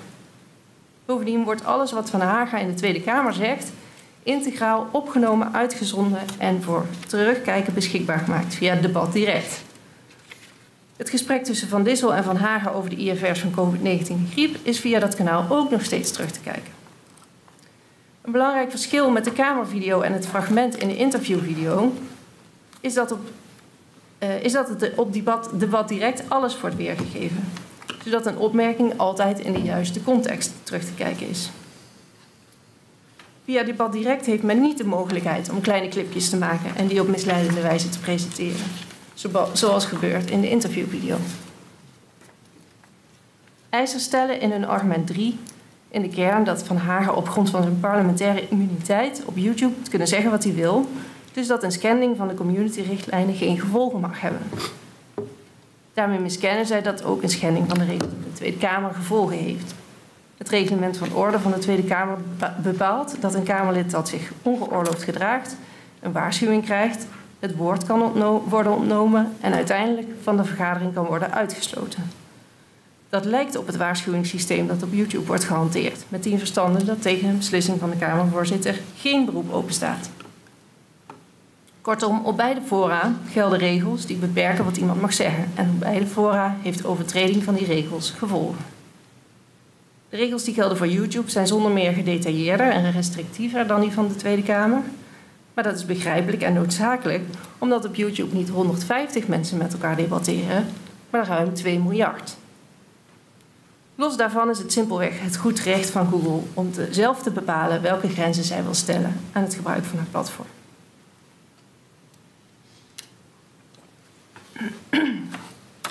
Wat eisers bepleiten is een must-carry-plicht. Een verplichting voor Google om alle content die zij aanbieden te hosten en haar platform te lenen voor het verspreiden van die content. U oordeelde in het kort geding tussen Facebook en Viruswaarheid vorig jaar al dat het recht van in ieder op vrijheid van meningsuiting niet tevens het recht impliceert op het forum van zijn of haar keuze. Ook ten aanzien van YouTube heeft de Amsterdamse voorzieningenrechter vorig jaar geoordeeld dat zij het recht had om video's die in strijd waren met haar COVID-beleid te verwijderen. In de VS hebben tientallen partijen geprobeerd om platforms als YouTube, Twitter en Facebook via de rechter te dwingen om hun content door te geven. Die pogingen hebben nog geen enkele keer succes gehad. De stelling van de eisers in die, in die zaken is steeds dat het betreffende technologieplatform zoveel macht heeft en zo belangrijk is voor de dagelijkse informatievoorziening, dat het niet zelf meer mag bepalen welke content het wel of niet toestaat. Door bepaalde content van de, van, eisers te van de eisers te verwijderen, zouden zij censuur plegen. Maar dat is vergelijkbaar met de stellingen van de eisers in deze zaak. In Duitsland zijn wel enkele specifieke gevallen geweest waarin rechters technologieplatforms hebben bevolen om verwijderde content terug te zetten. Ook daar is het echter vaste rechtspraak dat een platform als YouTube het recht heeft om content te verwijderen als die in strijd is met haar beleid en ook als die content niet onrechtmatig is op basis van lokale wetgeving. Dat volgt volgens Duitse rechtspraak uit de ondernemingsvrijheid die een platform geniet. In februari van dit jaar koos een Duitse rechter in een zaak over het COVID-beleid van YouTube eenzelfde lijn als u deed. Het recht op uitingsvrijheid van de uploader heeft alleen indirecte werking en er staat ook, en staat ook een fundamenteel recht van Google tegenover. Die zaak betrof de verwijdering van een video van een journalist waarin werd beweerd dat mondkapjes niet werken om de verspreiding van COVID-19 tegen te gaan. De Duitse rechter komt tot de conclusie dat Google het recht heeft om haar COVID-beleid te handhaven met het oog op bescherming van haar gebruikers tegen gevaarlijke content en met het oog op bescherming van haar eigen belang om niet aansprakelijk gesteld te worden voor dergelijke content. YouTube heeft een groot bereik, maar is zeker geen monopolist, zoals al blijkt uit het aantal alternatieven dat ik hiervoor heb genoemd. Het feit dat YouTube een groot bereik heeft, doet dan ook niet af aan het uitgangspunt dat Google niet gedwongen kan worden om als megafoon te fungeren voor content die ze niet wil verspreiden. Het is nog niet eens zo heel lang geleden dat burgers voor hun informatievoorziening waren aangewezen op een handvol kranten, televisie- en radiozenders. Die hadden dus echt informatiemacht. En toch is nooit aangenomen dat zij een verplichting hadden om alle aangeboden content door te geven. Kranten hebben ook niet de verplichting om alle lezersbrieven af te drukken. Ook al was de brievenpagina werkelijk de enige manier voor de burger om zijn mening naar een massapubliek te krijgen. Nu zijn er schier oneindig veel mogelijkheden om gratis of bijna gratis publiek te bereiken. Eisers richten hun pijlen alleen op YouTube. Zij stellen bijvoorbeeld niet dat het verboden censuur is als BNR Nieuwsradio van Haga niet vraagt voor een interview over zijn nieuwe partij BVNL. En procederen niet tegen RTL omdat Pasquino niet uitgenodigd wordt om aan te bij Jinek om uit te leggen waarom alle coronamaatregelen van tafel moeten. Ze maken ook geen aanspraak op verplichte publicatie door de Volkskrant van ingezonden brieven van hun land. De onwenselijkheid van een must-carry-verplichting wordt misschien nog wel het snelst duidelijk met een gedachte-experiment. Hoe zou YouTube eruit zien als alle niet-illegale content wordt toegestaan? YouTube wordt dan gedwongen om bijvoorbeeld pornografische video's op haar platform te dulden, maar ook video's waarin tieners worden uitgedaagd om gevaarlijke challenges uit te voeren. Ik geloof dat pornografie wel illegaal is, toch? Dus dat lijkt me niet. Uh, maar goed. Uh... Pornografie illegaal? Op YouTube. Misschien heb ik iets gemist, maar dat is mij niet bekend. Nou, pornografie, nee, ik zit aan kinderen te denken. Daar, de pedofilie, dat gaat u verder. Voor volwassenen is het volgens mij. Ja, volgens mij mag dat ook. Ik, ben het, uh, ik hou er denk ik niet, niet van, dat zal de reden zijn. maar ook bijvoorbeeld uh, pro-Anna-content. Dat is content die eetstoornissen stimuleert. Ja. Moet dan worden geduld. Daphne Keller, voorzitter van de afdeling Intermediary Liability bij het Stanford Center for Internet and Society, schetst in een recent interview hoe internetplatforms eruit zouden zien als ze alleen maar onrechtmatige content zouden mogen verwijderen. Zij noemt het free speech moshpits. Platforms zouden niet alleen minder bruikbaar worden voor het voeren van een publiek debat, omdat redelijke argumenten worden weggedrukt door grote hoeveelheden misinformatie en andere onwenselijke content, Maar ze zouden ook minder aantrekkelijk worden voor adverteerders, omdat die liever niet geassocieerd worden met aanstootgevende content. Als Google gedwongen wordt om alle niet-illegale content door te geven, dan zou dat YouTube als platform dus minder waardevol maken. Niet alleen voor adverteerders, maar ook voor gebruikers. Google kiest er dan ook met goede reden voor om geen ruimte te bieden voor bepaalde content op YouTube. Daarmee oefent zij haar fundamentele rechten op eigen informatievrijheid en vrijheid van ondernemerschap uit. Als YouTube wordt geboden om de video, de interviewvideo weer online te zetten, dan wordt ze bovendien in een lastige positie gebracht. Enerzijds moet zij de verplichtingen nakomen die ze op basis van haar deelname aan de Code of Practice op zich heeft genomen en waartoe ze opgeroepen wordt door de Europese Commissie. En anderzijds dient ze dan op basis van de Nederlands kort gedingvonnis content op haar platform te dulden die in strijd is met het COVID-beleid en in haar ogen onjuiste en misleidende informatie bevat die potentieel schadelijk is voor andere gebruikers. Eisers vorderen niet alleen dat Google de video's terugplaatst, maar ook dat ze een rectificatie plaatst op de homepage, dan wel op de pagina's waar de video's worden herplaatst. In de conclusie van antwoord heb ik al uitge uitgelegd waarom die vordering niet toegewezen kan worden. Dat is met name het geval omdat Google geen mededeling heeft gepubliceerd die voor rectificatie in aanmerking komt, omdat rectificatie disproportioneel zou zijn en omdat er geen sprake is van schade. Mocht u nou toch overwegen om één of meer vorderingen van eisers toe te wijzen, dan is het van belang om duidelijk te maken om welke URL's het gaat. Ook met het oog op het voorkomen van executiegeschillen. Er is een reëel risico op onduidelijkheid, nu eisers steeds, ondanks verzoek van Google, hebben geweigerd om te specificeren welke URL's horen bij de gevraagde video's. Inmiddels heeft Google op basis van informatie in de dagvaarding met aan zekerheid grenzende waarschijnlijkheid kunnen vaststellen dat het om de volgende video's gaat. Ik heb de URL's in de pleitnota opgenomen. Maar ruimte voor twijfel is er ook nog. De kamervideo, zoals eisers die op de USB-stick hebben ingediend. Daar hebben we weer. Hè, dat, dat hebben we net vastgesteld. Verwarring, ja. Uh, even kijken. Nou, ik, ja, is namelijk korter. Ja, nee, dat ja het, lijkt, het lijkt erop dat het dus per abuis een andere versie van de cameravideo is die ze op USB-stick hebben overgelegd en ook vandaag weer hebben laten zien. Uh, het is in ieders belang dat vaststaat op welke URL's de vorderingen van eisers nou eigenlijk zien. Daarom heb ik die URL's hierboven opgenomen en verzoek ik, die, verzoek ik u om die URL's in een eventueel toewijzend vonnis op te nemen. Mocht het verschil tussen het transcript en de USB-stick trouwens niet op een vergissing berusten, dan is dat inhoudelijk zeer relevant. Zoals we al aangeven, eh, ontbreekt nou juist in die USB-versie van de kamervideo de nuancerende, de compenserende informatie die ervoor zorgt, voor heeft gezorgd dat Google haar beslissing ten aanzien van die video heeft heroverwogen. Dus in het kort, als die kamervideo eruit zou hebben gezien zoals we die net hebben gezien en zoals die op de USB-stick staat, dan zou Google hem niet teruggezet hebben. Eisers vragen u primair om ervoor te zorgen dat een video met een interview over de coronamaatregelen en verkiezingen van afgelopen maart weer op het YouTube-platform beschikbaar komt. Google wil benadrukken dat er wat dat betreft geen daadwerkelijk probleem is dat u moet oplossen. Eisers hebben ruim voldoende gelegenheid om zich te uiten op YouTube via andere platforms en social media, in de Tweede Kamer en in de reguliere, reguliere media en de interviewvideo zelf staat ook al maandenlang gewoon online op andere videoplatforms en wordt verspreid via de website en social media kanalen van Van Hagen en Blackbox.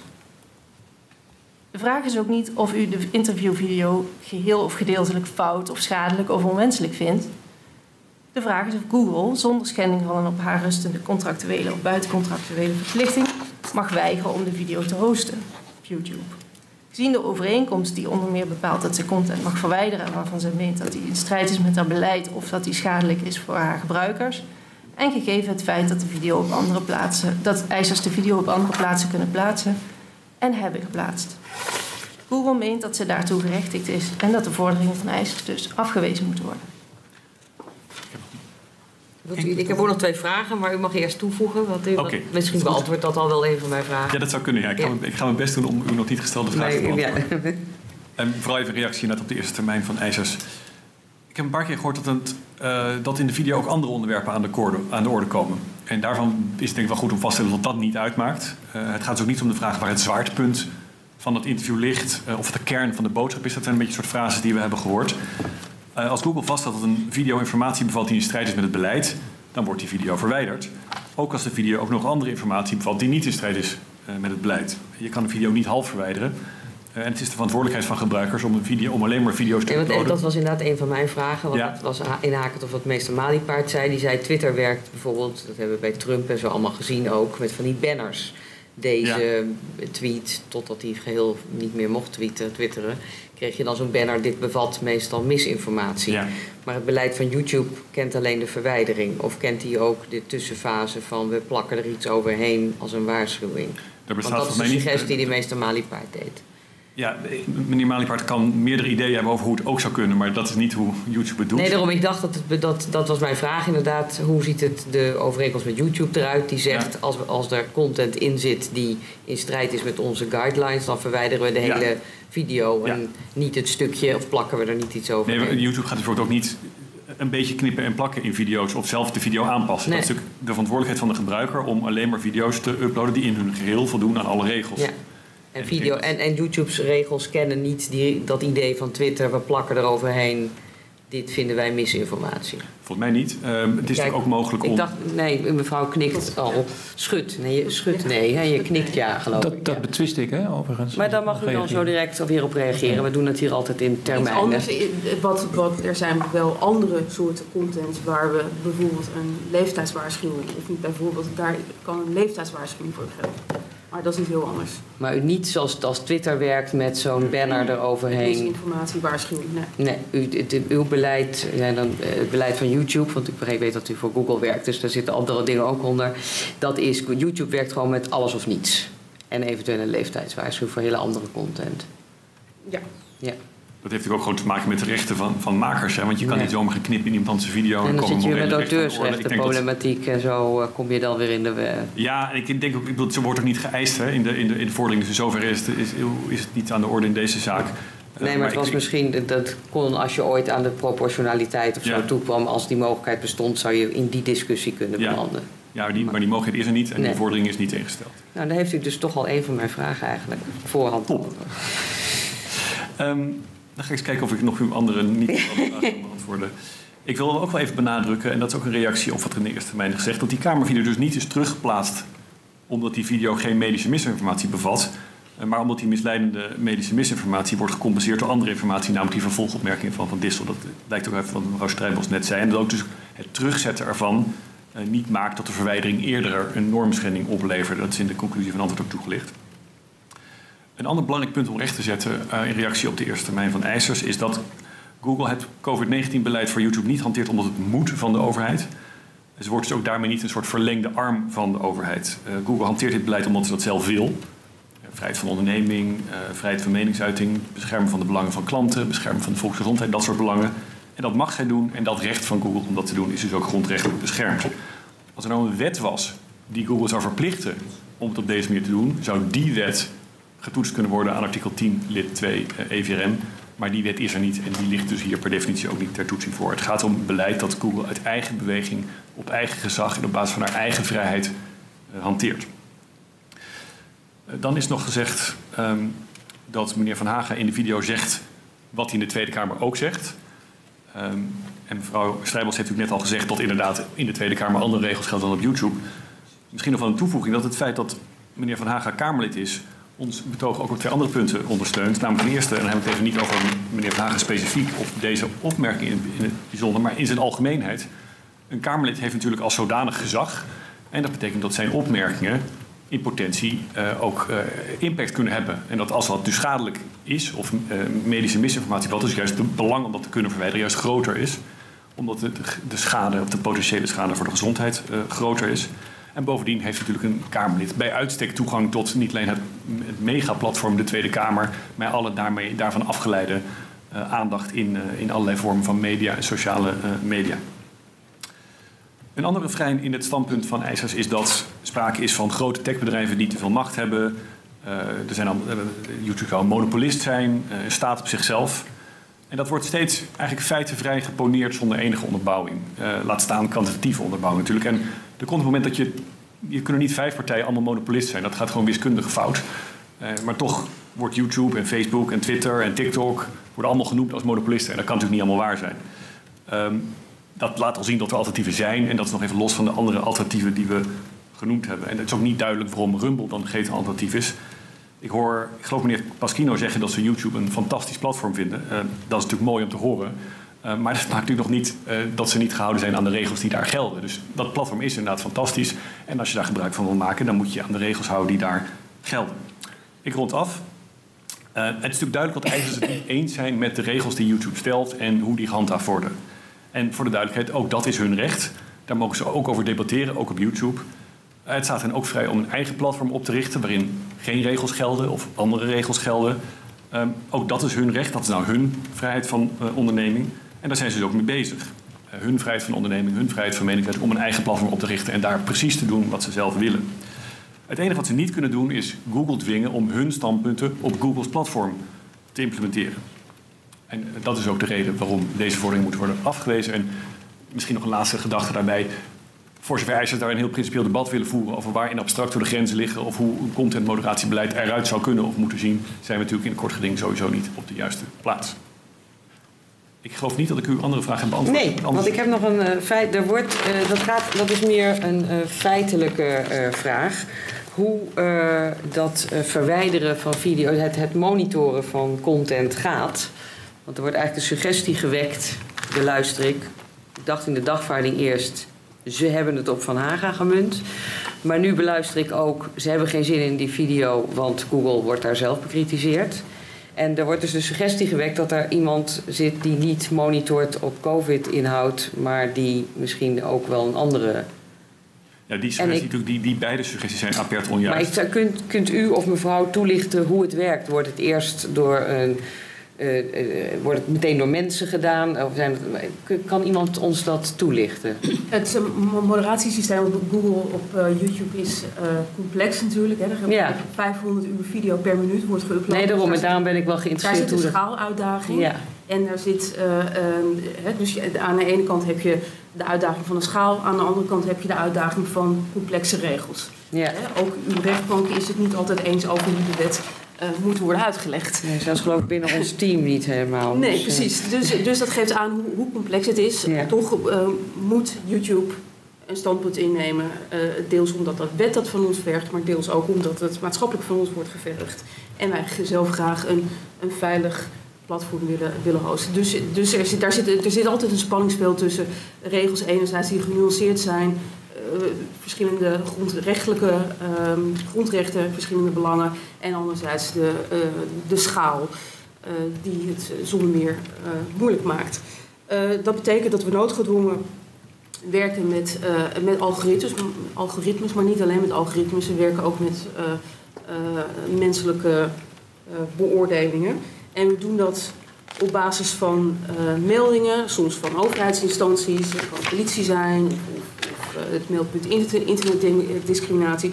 Het kunnen ook uh, notificaties zijn van gewoon YouTube-gebruikers hè, via het, het vlagsysteem. Um, en deels wordt er automatisch ge, gereviewd. Hè. Ik, ik, er werd een suggestie gewekt. We doen heel even een uh, pauze, want kunnen we het allemaal nog bijhouden? Ja, ik, ja? oh, nou, okay. gaat, gaat u maar door. Ik gaat kennelijk, graag, maar ja. Ik hoorde net de stelling dat uh, kinderporno maanden of jaren of weet ik hoe lang op het platform zou zijn. Nou, ik ben heel benieuwd naar wat daar dan zou zijn gevonden door, ik geloof dat meneer Van Haag gaat zijn. Maar kinderporno is bijvoorbeeld iets wat automatisch eruit wordt gefilterd. Uh, heel veel automatische filters worden ook toegepast voor het handhaven van. Ik dacht dat zelfs een keer de Mona Lisa ergens uh, automatisch was uitgefilterd omdat ze bloot was of zo. Dus dat, uh... dat, is, dat is dan meer misschien de categorie porno, maar niet kinderporno. Nee, nee dat begrijp maar ik. Maar dat, dat, zo, dat werkt dan zo. Dan pakt een ja. systeem dit op als ja. bloot en ziet niet dat het eigenlijk een heel beroemd schilderij nee. is. Dat bedoelde ik ja, daarmee. Ja. dat, dus daar, ook daarin, dat, dat is het spanningsveld. Zelfs de meest geavanceerde techniek uh, heeft het af en toe verkeerd. Uh, dat komt met name door de nuances die, die de wet natuurlijk uh, vaak kent. Zelfs in het auteursrechtssysteem, het Amerikaanse auteursrechtssysteem, fair use. Dat is een nuancering die niet zo heel makkelijk in algoritmes is te vangen.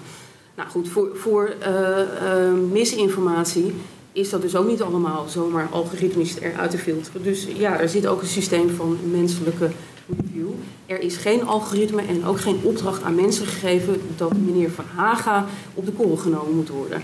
Of dat uh, zijn partij op de korrel genomen moet worden, uh, et cetera. Dus dat, is een suggestie waar uh, natuurlijk enige bewijs voor ontbreekt. Maar wat ik hier ook met kracht wil ontkennen, dat is niet in ons belang uh, op geen enkele manier. Wat wel in ons belang is, is om een beleid te voeren dat ons platform veilig houdt, uh, houdt en om dat beleid te handhaven. En dat is wat we doen.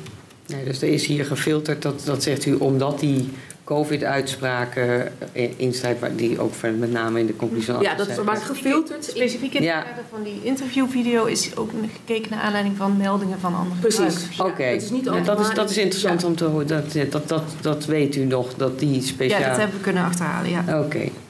En dan ook is natuurlijk het feit dat er geflankt wordt, alleen het is geen reden om het te verwijderen, maar alleen. Nee, dan wordt er daarna gekeken. Dat, Want dat, ik denk dat sommige dingen, zoals kinderporno, zegt u gaat er meteen ook af.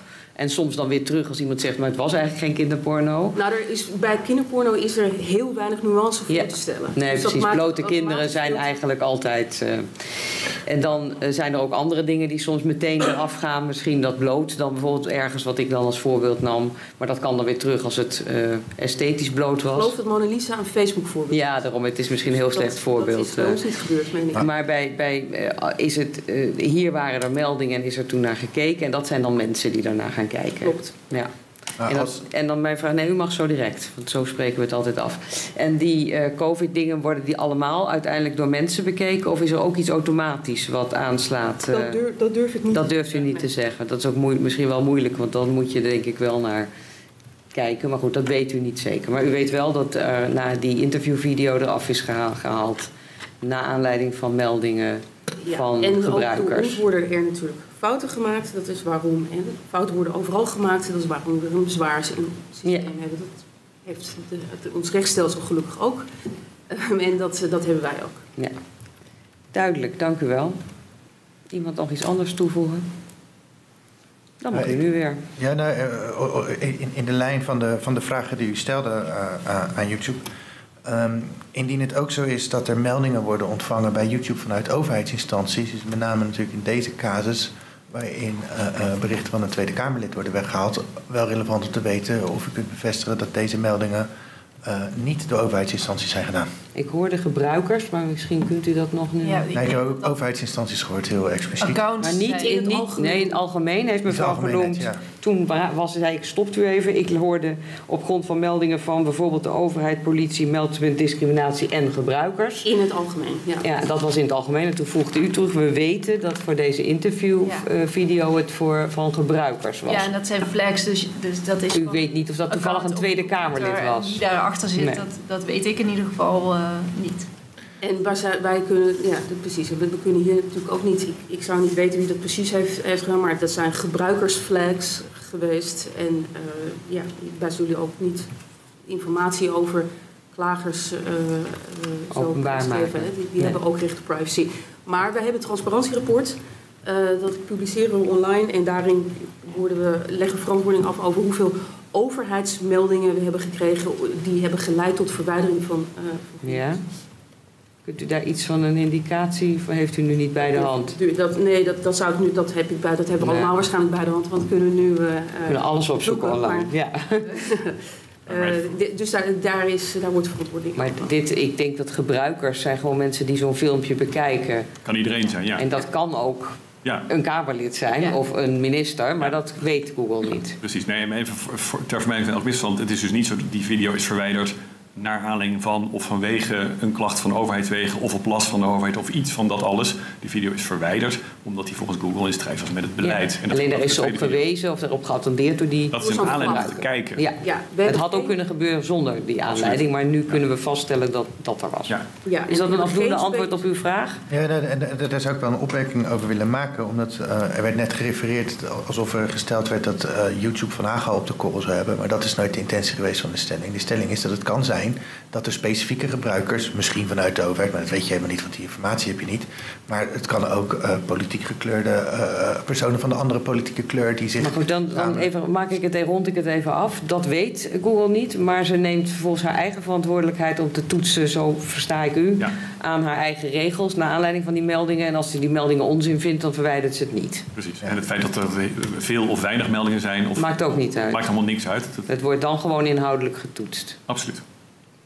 En, en, dan, uh, uh, dat, dat is wat, wat mijn collega bedoelde met wij van WC heen, dan gaat Google ervan uit dat zij daar zelf een neutraliteit in kan betrachten. En dat kan zij niet. En, en daar komt nog bij, hè, er wordt net ook gezegd aan de andere kant van, van, van Google. Um, maakt een eigen keuze en die kiest er zelf voor om het, om het, om het COVID-19-beleid uit te voeren. En dat, dat wordt haar niet opgelegd door de overheid, dus zij is ook geen verlengstuk. Maar in de conclusie van antwoord uh, van, van uh, uh, Google staat in rad nummer 11... voor een oplossing van dit probleem kijkt Europa onder andere naar online platformen zoals YouTube. Dus, dus dat YouTube hier wel degelijk als een soort verlengstuk van de, van de, van de staat opereert staat volgens mij vast. En dat betekent dus dat je, dat je, dat je een zwaarder gewicht uh, moet toekennen aan de, aan, de, aan de grondrechten. En daar komt ook bij dat uh, u in uw eerdere uitspraak van, uh, van eind vorig jaar. in, in, in, in de beoordeling voor een soortgelijk geschil ook heeft aangegeven dat het publieke debat met betrekking tot corona nog, nog gaande is in Nederland. Uh, en dat, dat belang is belangrijk. Of, of, dat debat is belangrijk. En in het kader van dat debat uh, moeten, moeten mensen ook de kans hebben om een andere mening te verkondigen dan de mening vanuit de overheid. Uh, zeker als diezelfde overheid bij alle persconferenties die we, die, we, die, we, die we hebben gehad, toch heel vaak aangeeft van hè, we zijn aan het varen in de mist. We zijn aan het handelen met zeer beperkte gegevens moeten we, moeten we 100% van de besluiten nemen. Dat, dat betekent dus dat het in ontwikkeling is. Je ziet over het laatste anderhalf jaar ook dat, dat standpunten wijzigen. Dus het is vrij eng om dan te zeggen maar het, het, standpunt dat we nu even innemen, dat, dat verklaren we heilig. En alle meningen die daarvan afwijken, die, die, die gaan we censureren. Want hoe moet dat publieke debat dan plaatsvinden? ik denk dat u daar een belangrijk woord in de mond neemt. Het gaat hier ook in een belangrijke mate, zal mijn beoordeling erover gaan, over het over meningen of als feiten gepresenteerde meningen of stellingen gaat. Daar zit volgens mij een belangrijk nuanceverschil in wat mensen wel of niet mogen zeggen in het kader van de vrijheid van meningsuiting, wat het woord al zegt. Mag ik nog iets toevoegen? Ja, maar misschien willen uw advocaat ja, eerst even het afronden, anders eh, zijn we straks al het spoor bij. Nee, nee, de rest bewaren voor de repliek is beter. Ja, ja we zijn in de repliek wat mij betreft nu. Oh, dat, dat, in, dat geval, de tweede termijn, in dat geval hebben we meer te zeggen. Nee. De tweede termijn is meestal de repliek. Uh, ja. En daarom kapte ik uw cliënten even af, want ik dacht als u eerst even uw repliek afrondt, dan hebben we straks niet verwarring over of iedereen wel volledig zijn beurt heeft benut. En zo maar uit wat je nog verder Ja, oké. Okay, um, ik wou, ik wou eerst even inhaken op uh, uh, de, de, de, stelling die, die, die YouTube inneemt, waarin ze zegt ja. Um, dat er allerlei andere stellingen en meningen in zo'n video zitten, maakt niet uit, want je hebt je maar aan de regels te houden. Ik denk, ja, dat kan je makkelijk zeggen. Maar in deze specifieke zaak was er een zaak waarvan YouTube zelf eerst vond dat ze zich niet uh, aan de regels hadden gehouden, waardoor het af mocht. En vier maanden later, onder druk van de procedure, diezelfde video in één keer toch uh, toegestaan zou zijn, omdat die wel uh, binnen de, de, de, door YouTube bepaalde lijntjes zou zijn. en dat is ook natuurlijk duidelijk dat in sommige gevallen is die grens heel moeilijk te trekken. En daardoor kan je dus ook nooit het argument gebruiken, had je je maar aan aan de regels moeten houden. En wat ik dus heel nadrukkelijk voor wil brengen, is het is niet een vrije keuze van YouTube om uh, uh, te verwijderen als element van de manier waarop zij wil bijdragen aan uh, het COVID-19-beleid. Want zij kan allerlei andere manieren hanteren om dat op een veel schappelijkere en voor, haar gebruikers vriendelijkere manier te doen. En ik denk ook dat daar op haar, zeker in situaties waarin het helemaal niet zo duidelijk is of het nou wel of niet in strijd met die beleidslijnen is, dat ze daar ook een verantwoordelijkheid hebben om dat En dan bedoelt u weer uw optie van banners of op een andere Banners, ja. En, en, daarna ging de discussie over wij kunnen niet knippen of plakken in een video. Nee, dat is ook niet gesteld, dus dat is een beetje onzinnige Sorry, argumentatie. Dat was, mijn, dat was mijn suggestie. Ik dacht nou, dat, dat, dat kwam ook wel vanuit, vanuit YouTube. Nee, nee, nee, ik dacht dat het mijn vraag was. Ik dacht dat ik u zo had begrepen. Nee, het gaat mij echt om, om banners of om verwijzingen. Ik, wat, wat natuurlijk de kwestie is, is is censuur de manier waarop je een problematiek als deze moet aanpakken? Is het niet zo dat op het moment dat iemand een andersluidende mening heeft, of iemand heeft de feiten verkeerd op een rijtje, dat normaal gesproken het debat de manier zou zijn om dat op te lossen? Op het moment dat iemand slecht geïnformeerd is, ga je de discussie aan. En op het moment dat je betere argumenten hebt of je hebt een betere onderbouwing en je kan dat wetenschappelijk bewijzen, kan je misinformatie uit de lucht halen. Maar YouTube kiest de meest drastische manier die er is. Die verwijderen alles wat ook maar niet uh, uh, conform dat, dat beleid is. Terwijl dat beleid zelf uh, nog, nogal dun is om te toetsen. En als er dan moderators zitten uh, die daar keuzes in maken, dan begrijp ik heel goed dat die moderators steeds het zekere voor het onzekere nemen. En op het moment dat er bepaalde type woorden tussenkomen, of uh, zoals zo'n vergelijking tussen COVID en de griep, en zo duidelijk is het helemaal niet dat daar nou een directe vergelijking wordt gemaakt. Maar zo'n moderator die zal denken: ja, haal dit maar weg, want dit zal waarschijnlijk wel in strijd zijn. En de enige reden dat die video teruggeplaatst is, is deze procedure. Het is niet zo dat YouTube in andere video's vier maanden na dato nog eens een herbeoordeling gaat doen. Dat is alleen maar omdat we hier zitten en omdat YouTube gedacht heeft: hé, hey, dat is wel heel cru dat er op de site van de Tweede Kamer wel zo'n site, uh, zo'n zo filmpje staat. En dat wij dan in de rechtbank moeten gaan verdedigen dat dat eigenlijk uh, in strijd met ons beleid is en dat het weggehaald wordt. Dat is natuurlijk niet de intentie geweest. Het is gewoon een tactische tactische uh, uh, move van de, van de advocaten van YouTube om te denken, nou we moeten in ieder geval voorkomen dat hier een rechter gaat zeggen dat een filmpje terug moet, want dat kunnen we ons niet permitteren. En ik denk dat het vooral daarover gaat. Wat had je nog opgeschreven, Simon? Nou, ik wil het nog even eerst even hebben over die minuut 29 uh, uh, uit de lange video, want dat, dat komt de hele tijd uh, terug.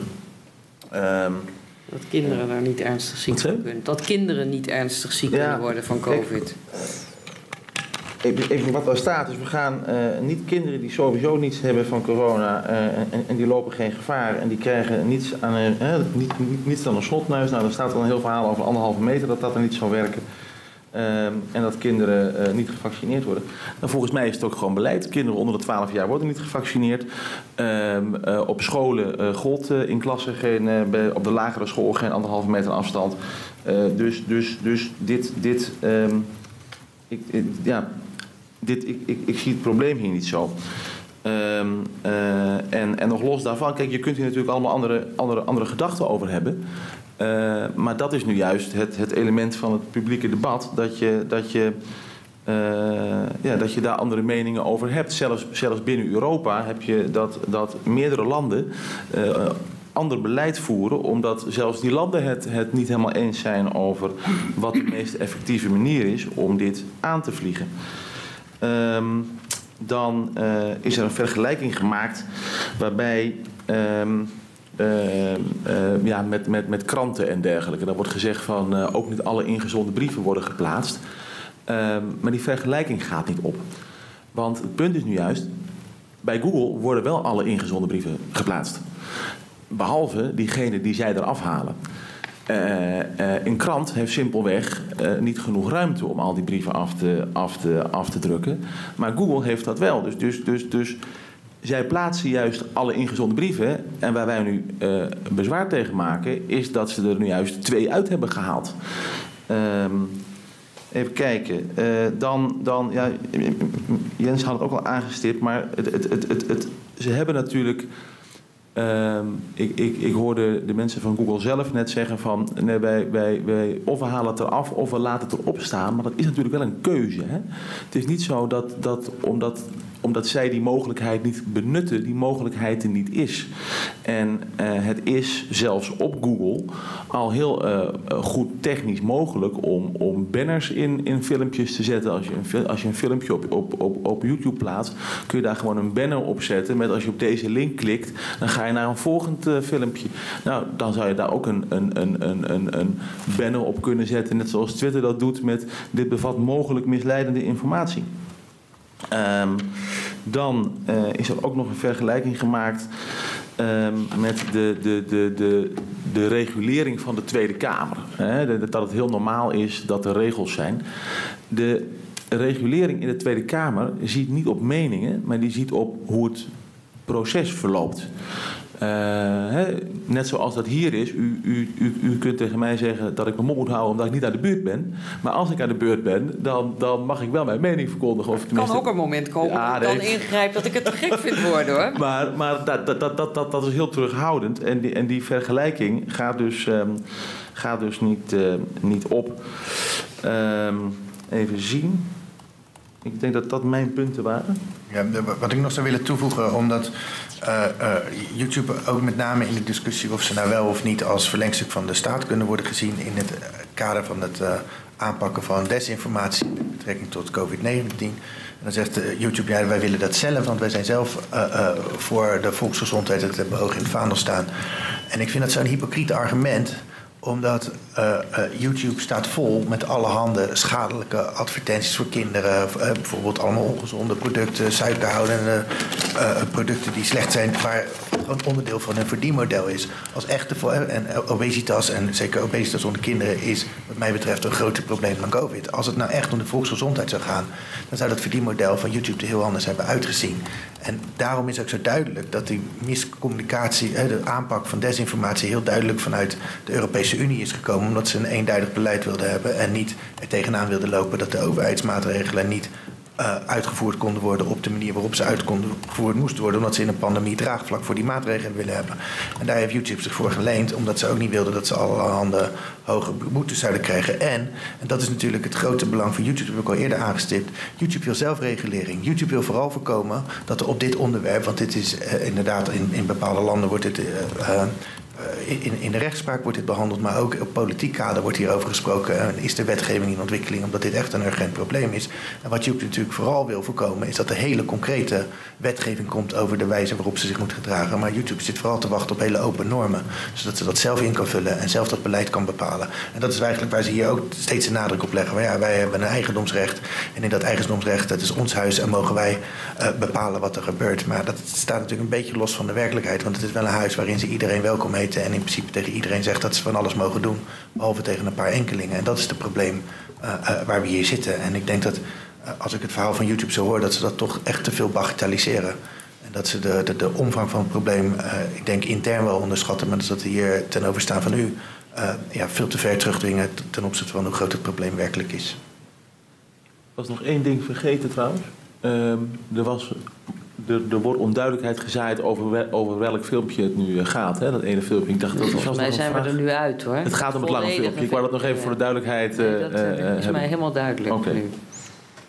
Maar meneer Paschino wil heel graag. Mag hij nu? Want dan sluit ik daar uw repliek wel ja. mee af. Hè? Ja. Ik zou daarna... En u ook? Ja, nee, u ook nog. Iedereen mag altijd het woord voeren hier. Het is net ja. de Tweede Kamer. En, uh, maar wij houden u niet eens aan die paar minuten spreektijd. Maar alleen als het echt te lang wordt. U mag, meneer Paschino. Nee, ik ga het kort houden. Nee, ik wilde even reageren. Ik, ik begrijp overigens van de dame die net van YouTube of van Google uitlegde... dat het een heel lastig pakket is hè, om met zoveel content een goede afweging te maken... wat je nou wel en niet verwijdert. Dus ik heb er ook alle begrip voor. Uh, maar in ons uh, specifieke geval is natuurlijk nu heel duidelijk waar de pijnpunten liggen. En uh, werd net door mevrouw Strijbos aangehaald dat wij, dat ik zou hebben beweerd dat de IFR 0,23 dat het een feit is. wat ik daarmee bedoelde is dat het een feit is dat de WHO dat heeft gepubliceerd. En um, dat is dus een feit. Maar dat is wereldwijd. Wij hebben nooit geroepen dat dat voor Nederland geldt. Dus dat is de wereldwijde IFR uh, in de meta-analyse van uh, meneer uh, nou de naam kan ik niet uitspreken, een bekende wetenschapper. voor de griep is die IFR wereldwijd ongeveer tussen de, de 0,1 en de 0,15 heb ik begrepen. Inmiddels is dat voor corona ook al bijgesteld tot 0,15, dus het is alweer lager geworden. En in Nederland zou de IFR 0,7 zijn. Maar wij hebben het nooit gehad over een Nederlandse IFR. We hebben het altijd gehad over die meta-analyse. Dus die 0,23 waar wij het over hebben gehad, dat zijn gewoon feiten die de WHO op haar eigen platform heeft gecommuniceerd. En daar hebben wij aan gerefereerd. Dus dat wou ik even duidelijk maken. Grappig genoeg heeft de, uh, de voorman uh, Tetros van de WHO in den beginnen geroepen dat de IFR 3,4 tot 3 zou zijn. Nou, dat heeft hij natuurlijk moeten herroepen. Die video's staan nog in volle glorie op YouTube. Maar als er nou iets misinformatie is, dat wel. Want de IFR is geen 3,4, dan zou er een wipe-out zijn geweest van de halve wereldbevolking. Dus om maar aan te geven hoe men tot voortschrijdend inzicht kan komen. Ik, mijn rekenkunde is niet heel goed, maar 3,4 van de wereld volgens mij. eh. Zegt u? U zei dat de helft van de wereldbevolking... Nee, een wipe-out van de bevolking. Ik zei niet de helft. Volgens mij zei u dat stiekem per ongeluk er wel in een daarna, maar dat maakt niet uit. Nee, ik bedoel, ik zei een wipe-out van de wereldbevolking. 3,4 procent is, is, is heel erg dodelijk. Eh, Dus ik wil maar aangeven hoe ook de WHO tot voortschrijdend inzicht komt. En die content staat nog steeds op YouTube. Ehm, dus wij hebben nooit zelf iets verzonnen. Wij hebben gerefereerd aan iets wat de WHO zelf roept. En nogmaals, wereldwijde cijfers, niet over Nederland. Ehm, aan het eind, bij 29 minuten, eh, heeft Wiebren van iets gezegd over eh, geen kind dat ziek wordt, krijgt alleen een snotneus. Ik denk ook dat het belangrijk is dat eh, als hij zoiets zegt, dat, dat er ook begrepen wordt dat dat niet een letterlijke bewering, bewering is. Dat er geen enkel kind ziek zou worden van corona. Dat dat een bewijzen van spreken uit, uitspraak is, omdat het een statistische insignificantie eh, aanduidt. En zo moet het ook gezien worden, want het gaat hier over communicatie. En eh, als je op elke korrel een slakje, eh, of elke slak een korrel zout legt, dan, dan is niets meer juist. Dus dat vind ik ook even belangrijk om te benadrukken. Verder werd gezegd dat wij de mogelijkheid hebben om elders een eigen kanaal met een druk op de knop bij Access for All te openen. Nou, ik kan u vertellen dat ligt echt wel wat complexer en dat kost bakken met geld om te hosten, dus onbetaalbaar. Vandaar ook dat wij nu gebruik maken van Rumble, die dat ook gratis aanbiedt. Maar dat is algoritmisch natuurlijk veel minder succesvol. Dat er nu een aantal video's zijn die het behoorlijk goed hebben gedaan. ehm, dat heeft alles te maken met de verontwaardiging en de oproer die destijds ontstond rondom de verwijdering van de video die wij eh, toen op sociale media behoorlijk hebben eh, kenbaar gemaakt. Waardoor er juist weer nieuwe traffic is ontstaan. Maar in zijn algemeenheid, als wij op een dergelijk platform of op een eigen hosting bij Access for All zouden gaan eh, draaien, dan kunnen wij denk ik meer dan 50% van onze traffic zien verdampen. Dus dat betekent wel degelijk dat YouTube voor ons een, een belangrijke partij is en niet kan worden gezien als een inwisselbare partij. Ja, dat is voor mij eventjes de bijdrage. Meneer Van Haga. Ja, ik wil toch ook nog terug naar dat voorbeeld op pagina 3 onder 6. Want daar wordt eh, iets van mij geciteerd. En eh, dit is. En dat is op de pleitnota verwijst u Ja, naar? pleitnota van de eh, advocaat van de tegenpartij. Ja. Dus onder 6 op pagina 3. Ehm, en, en de vertaling van dat citaat is symptomatisch voor die hele pleitnota. Maar ik, ik hou het bij één voorbeeld. Ik zeg daar, we gaan met kinderen die sowieso niets hebben van corona, die lopen geen gevaar, die krijgen niet eens een snotneus van. En dan even verder. En op een gegeven moment een vaccin krijgen, terwijl dat aantoonbaar niet helpt. Helpt, zeg ik daar. Helpt bij de bestrijding van het virus. Hoe wordt het door de advocaat van de tegenpartij weergegeven? Dat Van Hagen claimt dat vaccinaties niet werken. Nou, dat is echt een stuitende eh, omschrijving van het citaat.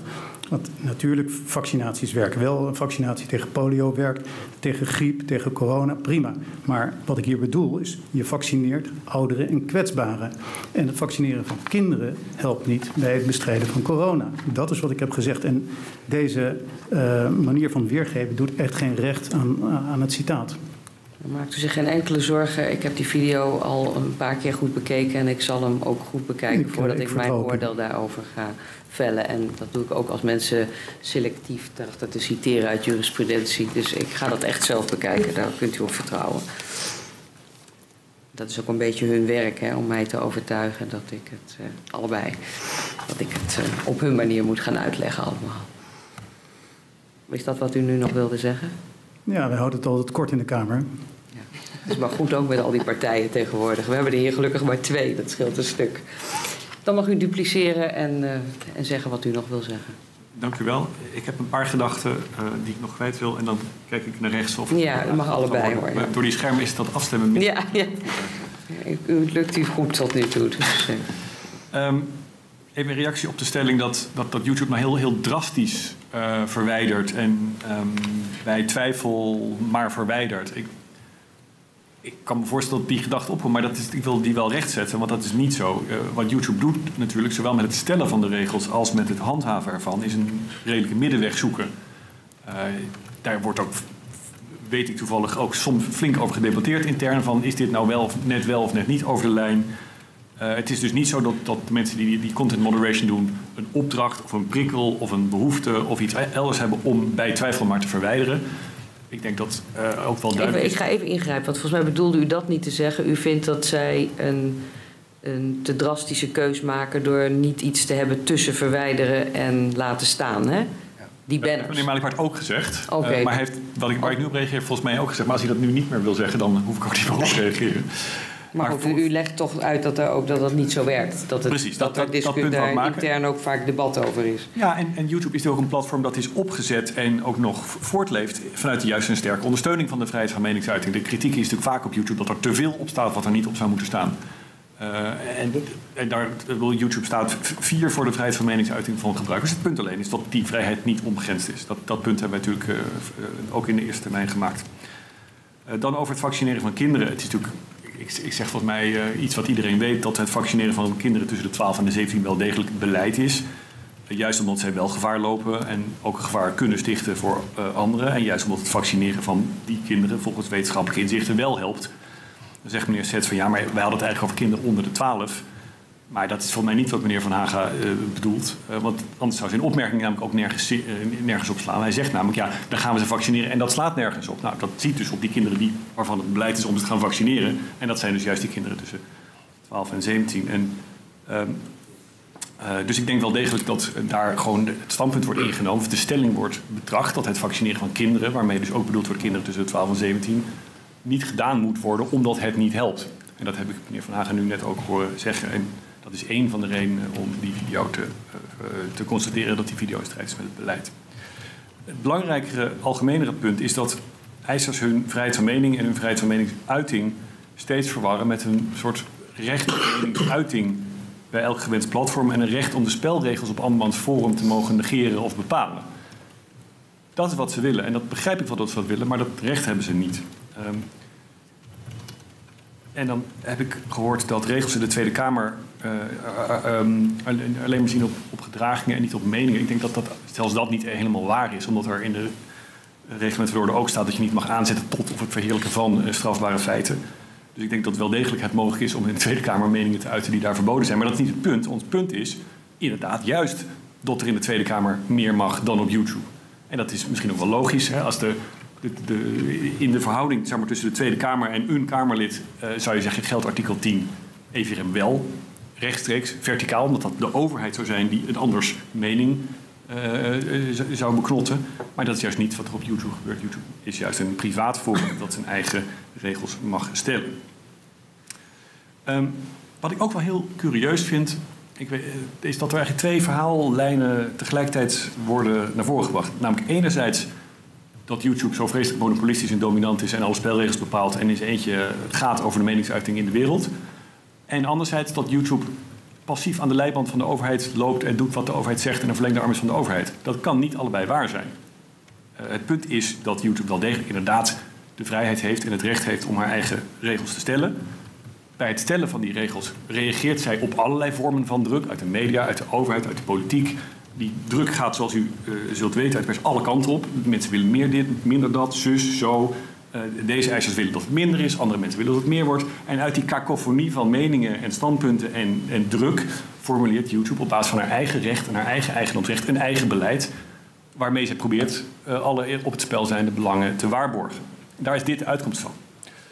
Um, en de uitkomst daarvan is dus dat Google die interviewvideo schadelijk vindt en in strijd vindt met haar beleid. En dat ze die daarom die mag verwijderen. En ondanks alle meningen die u heeft gehoord van eisers over hoe het ook anders zou kunnen uh, en misschien ook wel moeten, is niet weerlegd dat Google op basis van haar uh, overeenkomst met deze eisers het recht heeft om deze video te verwijderen, omdat zij redelijkerwijs mag vinden dat die in strijd is met haar beleid en schadelijk kan zijn voor haar en haar gebruikers of derden. Dat is juridisch gezien het enige waar deze zaak over gaat. En eigenlijk is dat het punt waar uh, eisers niet of nauwelijks concreet iets anders over hebben gezegd. Um, het is ook begrijpelijk dat eisers YouTube een mooi platform vinden en fijner vinden dan andere platforms. Uh, en ook goedkoper. Ik snap ook heel goed dat het goedkoper is om het te zetten op een platform dat gratis is dan op een nieuw platform bouwen. Dat dat is logisch. Maar dat geeft natuurlijk nog niet YouTube de verplichting om dan haar eigen regels maar opzij te stellen. Dat is steeds het onderscheid uh, wat ik zou willen benadrukken. Ik ga nu naar rechts kijken. Ja, ik heb nog een kleine nabrander. Um, er wordt uh, uh, nog een keer gesteld dat die stellingen over de IFR niet worden gepresenteerd als feit. Maar als ik naar, de, naar dat transcript kijk, dan staat er door meneer Van Haga... wij roepen al heel, lang, heel erg lang dat de IFR vergelijkbaar is met die van een stevige griep. En daar reageert Pasquino op met... maar dat is een feit. Dat heeft de WHO gecommuniceerd. Als je kan tellen, dan concludeer je dat. Dus dat wordt wel degelijk als een feit ge gepresenteerd. Uh, en dan hoorde ik net ook nog een keer dat dat dus een, een percentage is die 0,23, dat van de WHO afkomstig is. En die, die, die 0,15 die ze noemen, zou ook van de WHO afkomstig zijn. Maar dat, dat is ook niet, dat is niet waar. Uh, die percentages komen van één uh, wetenschapper. En die heeft zijn artikelen geüpload naar het digitale prikbord op de website van de WHO. Maar de WHO heeft niet gezegd: oh ja, dit klopt, dit, dit onderschrijven wij het, het standpunt van de WHO is op dit moment dat het 0,6 is. Um, en je kan daar alles, allerlei eh, artikelen over vinden. Dat is ook, als je de moeite zou nemen om, om dat artikel in zijn geheel te lezen, daar staan ook uiteenlopende percentages voor die IFR eh, in. En waar het dus om gaat is dat, het, dat de stellingen van eisers in die video daarover, die zijn niet juist, die zijn misleidend en die zijn dus gevaarlijk. Heeft mevrouw Antisch nog iets toe te voegen? Uh, ja, um, met, meteen hierop aansluiten denk ik. Um, er is natuurlijk een reden dat ons beleid niet exacte cijfers opneemt. Ik wil een beetje wegblijven bij al dat gegogel met cijfers. Want daar, daar hè, blijkt alweer uit deze discussie... dat wordt al snel ingewikkeld en, en onnavolgbaar. En er zijn altijd wel ergens cijfers te halen die zonder context uh, moeilijk te duiden zijn en zonder context ingezet kunnen worden om welk standpunt dan ook te onderbouwen. Uh, wat ons beleid zegt, is dat je niet mag, de stelling mag innemen dat COVID-19 net zo erg of minder ernstig is dan de griep. Dat is wat ons beleid zegt. En altijd gegogel met cijfers, dat zal maar wel. Maar voor zover dat wordt ingezet om die stelling in te nemen, en dat is wel degelijk de suggestie die is gewekt in, in, in de filmpjes, die, uh, in het filmpje dat uh, we hebben verwijderd. Uh, dat is in strijd met ons beleid. Um, en ons beleid is natuurlijk, en ik, ik, denk dat dat nog wel belangrijk is om, om duidelijk te maken, ons beleid is veel, um, hoe, hoe, zeg je dat, veel gedetailleerder dan in heel veel opzichten dan dan de wet. Hè. De, de wet zegt, die bepaalt wat rechtmatig is en wat niet rechtmatig is. Ons beleid gaat ook over dingen die wel degelijk rechtmatig zijn, maar die wij om goede redenen niet op ons platform uh, willen hebben. En dat, dat, kan, dat kan een mening zijn, bijvoorbeeld een mening dat COVID-19 uh, net zo erg is of uh, minder erg is dan griep. Wij zeggen dat is, een, dat is, voor zover dat een mening is, is die mening in strijd met de wetenschappelijke consensus. En dus kwalificeren we dat als medische misinformatie en dat willen we niet hosten. Um, en ja, voor zover er bijvoorbeeld een mening zou zijn over uh, ik, ik haat alle Marokkanen en alle Marokkanen moeten weg. Uh, ja, dan, dan is dat een, een mening die, die ook begrensd is door, door de wet. Maar goed, dus ik, ik wil alleen maar zeggen, hè, ook meningen zijn niet totaal vrij. Niet elke mening mag. Naar aanleiding van mijn ding dat ik alleen dat ik vooral moest kijken of het om een mening of een feit gaat, zegt u ook met meningen moet ik wel voorzichtig omgaan als die. Ja, en, en met de toevoeging dat de, de wet stelt grenzen aan, de meningen, aan meningen, maar ons beleid heeft misschien nog op een aantal punten wat strengere grenzen dan, dan dat. En dat, is, dat, is het, valt onder onze ondernemingsvrijheid en, en uitingsvrijheid. Beleid wat we onder andere hebben. We hebben niet alleen beleid dat gaat over het content op, uh, uh, op YouTube. We hebben ook beleid over advertenties.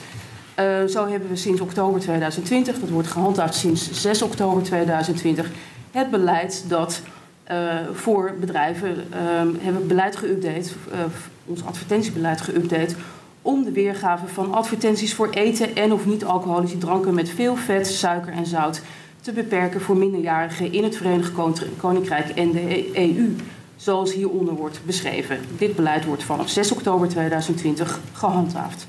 Um, en dat beleid staat gewoon online op onze uh, ads policy pagina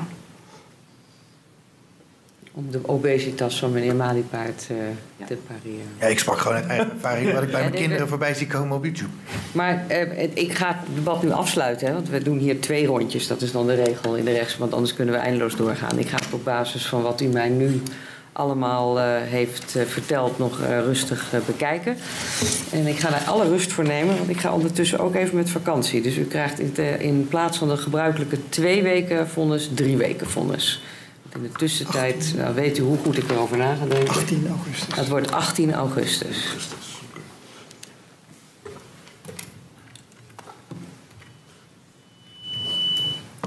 Dan eh, sluit ik de zitting en dank ik u voor al uw eh, interessante informatie. Wij gaan ermee aan de Heel slag. bedankt. Dank u wel.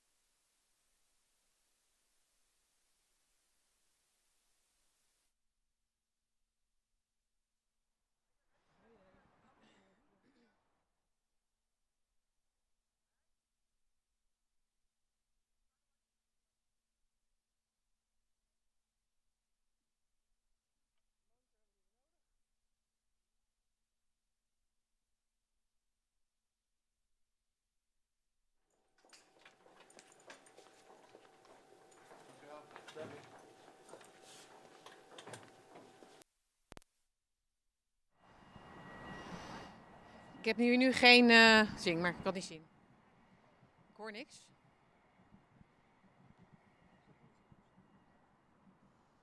Heb je dan al je aantekeningen bij je? Ja, oké. We zijn weer terug. Eh, nou, het, het was niet echt een eh, kort geding, eh Cees, geloof ik. Langdurig geding. Een langdurig geding. Eh, we hebben helemaal alles bekeken, eigenlijk van begin tot eind. Wat is jouw gevoel bij de zitting? Veel spreektijd, Ja, weinig vragen de- van de rechter. Nee, er werd, er werd eh, veel gesproken en weinig gezegd. Ja. En ik vond het eigenlijk een beetje teleurstellend dat de rechter niet meer wilde weten. Er bleven heel veel vragen heel erg eh, open, heel erg onduidelijk. Het zou interessant geweest zijn, maar daar was er kennelijk niet in geïnteresseerd. Wat had de rechter dan volgens jou eh, moeten weten? Of, Nou, of naar de hele willen positie, weten? nou, de, de hele positie van, van Yo- YouTube niet als een, mijn oortje valt eruit, niet, niet als een, Daar maar even krant. Want de advocaten van, van YouTube die drongen er voortdurend op aan dat ze een beleid kunnen voeren. Een redactiebeleid kunnen voeren. Ja. En dat kan natuurlijk bij een krant. Dat kan Ja. bij een particuliere krant. Ja. Maar het grote verschil tussen een krant en YouTube is dat YouTube eigenlijk in belangrijke mate een postkantoor is. Zij zijn, zij zijn transporteurs. Of die snelweg, die vergelijking die je maakte met de snelweg. Hè? Ja, die iedereen rijdt er overheen. Die van iedereen is en zij bieden diensten aan om mensen zo snel mogelijk van A naar B Ja. eh, te, te verplaatsen. En daar, daar, eh, je kunt een auto huren bij, eh, bij YouTube als het ware, waarmee je van Amsterdam naar Rotterdam wordt vervoerd. Ja. Wat je vervolgens in die auto doet, dat gaat hen niet aan. Dat, Ja. dat hoort Ja. er niet bij. Kom maar even bij staan. Ja. Hoe Flavio. gaat het? Ja, Hey. zijn we live? Daar ben je weer. Live, ja. We, Oké. we- we staan hier net even. ik vraag net de AC's. wat is jouw indruk eigenlijk van de zitting? Maar dat wil ik natuurlijk vooral graag van, van, jullie, eh, van jullie horen. Eh, we hebben alles gekeken, van begin tot eind.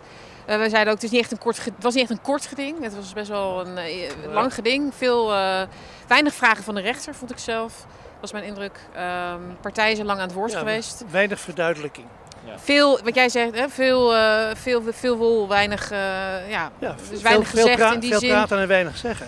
Door de, door de hè, dus ja. YouTube die natuurlijk heel erg nadruk legt op jullie kunnen ook ergens anders heen. Ehm, ja, Ja, en wat ik wel heel ontroerend vond, was dat die advocaten van eh, YouTube voortdurend spraken over hoe ze ons willen beschermen. ja, Eh, Ik was daar echt tot tranen toe eigenlijk door, door geroerd. Dat, dat van alles schadelijk kan zijn en dat ik daartegen beschermd moet worden. En dat godzijdank er YouTube is en hun redactie en hun monitoring. En die doen dat dus. Ja, maar weet je, al- als het, als het COVID-beleid. Co- COVID mag een pandemische situatie zijn, maar het is zeker niet de grootste crisis die wij in de komende jaren tegemoet gaan. Wij krijgen nog veel grotere crisis. En God zijn met ons. Als bij al die crisis, zoals de werkelijke klimaatcrisis, zeg maar, eh, zij een eigen beleid gaan voeren. Waarbij ze zeggen, dit mag er wel gezegd worden, dat mag niet gezegd worden. Want daar kwam het in feite op neer. ja. het begin hadden ze nog veel over de richt, onze, onze richtlijnen enzovoort. En later in de zitting merkte je dat YouTube comfortabel werd in het idee, ja, maar het is ons beleid. Ja. Wij vinden dat dat, dat COVID-beleid is eigenlijk ons beleid. Het is ook gewoon niet, je mag dat niet zeggen over kinderen, je mag dat niet zeggen over vaccins. Je mag dat, dus je merkte dat ze, ze lieten steeds meer zien eigenlijk dat zij zelf ook zo in de, in de wedstrijd zitten. Willen jullie nog een reactie? Ja, natuurlijk. Nee, maar wij Nou, zitten, nee, echt. wij, ja, nee, wij zitten ook al anderhalf, wij zitten ook al anderhalf uur, twee uur in de bus Ja, stil te wachten. Dus, maar goed, dat was even, dan weet je even, even hoe wij het beleefd hebben. Maar net, vertel. Ja. Nou, ja, voor mij is het in mijn leven de eerste keer dat ik überhaupt in een rechtbank zit. Ik ben een hele brave jongen. Eh, dus het, ik vond het sowieso een, eh, een, eh, een, bijzondere beleving met zo'n rechter en advocaten aan de andere kant. Dus ik heb, alles is nieuw. Ehm, ik vond het ook interessant om dat verweer te horen van YouTube, hoe zij denken. En ehm, het grappige is dat voor een heleboel dingen is eigenlijk ook nog best wel wat te zeggen. Als het daadwerkelijk ook echt heel erg gevaarlijk is wat Ja. wij gedaan hadden. Dan zou ik denken, in godsnaam grijp in. Ja. Dus op zich is het fantastisch dat er zo'n feedbackmechanisme eh, is binnen zo'n bedrijf. Alleen het wordt op een volstrekt verkeerde manier toegepast. En, en, en dat is dan natuurlijk het pijnlijke van wat je nu ziet. Dat het systeem dus niet functioneert. Eh, en, en wellicht nog veel erger dat er handmatig wordt ingegrepen. Dat is toch het, het gevoel wat blijft. Ja, nee, precies. Ja. Wiebren, wat is jouw eh, gevoel Nou ja, erbij? ik ben natuurlijk wel vaker in een rechtszaal geweest. Dus het is altijd leuk om te zien dat 50% van de advocaten in elke zaak, dat zijn leugenaars en die hebben het bij het verkeerde eind. Altijd zo. Hè? Dat is gewoon nou eenmaal een gegeven. Maar ik vond het wel stuitend om te zien hoe de pleitnota was opgebouwd van de tegenpartijen. Dat ze echt dingen gaan verdraaien en echt dingen eh, uit de context halen.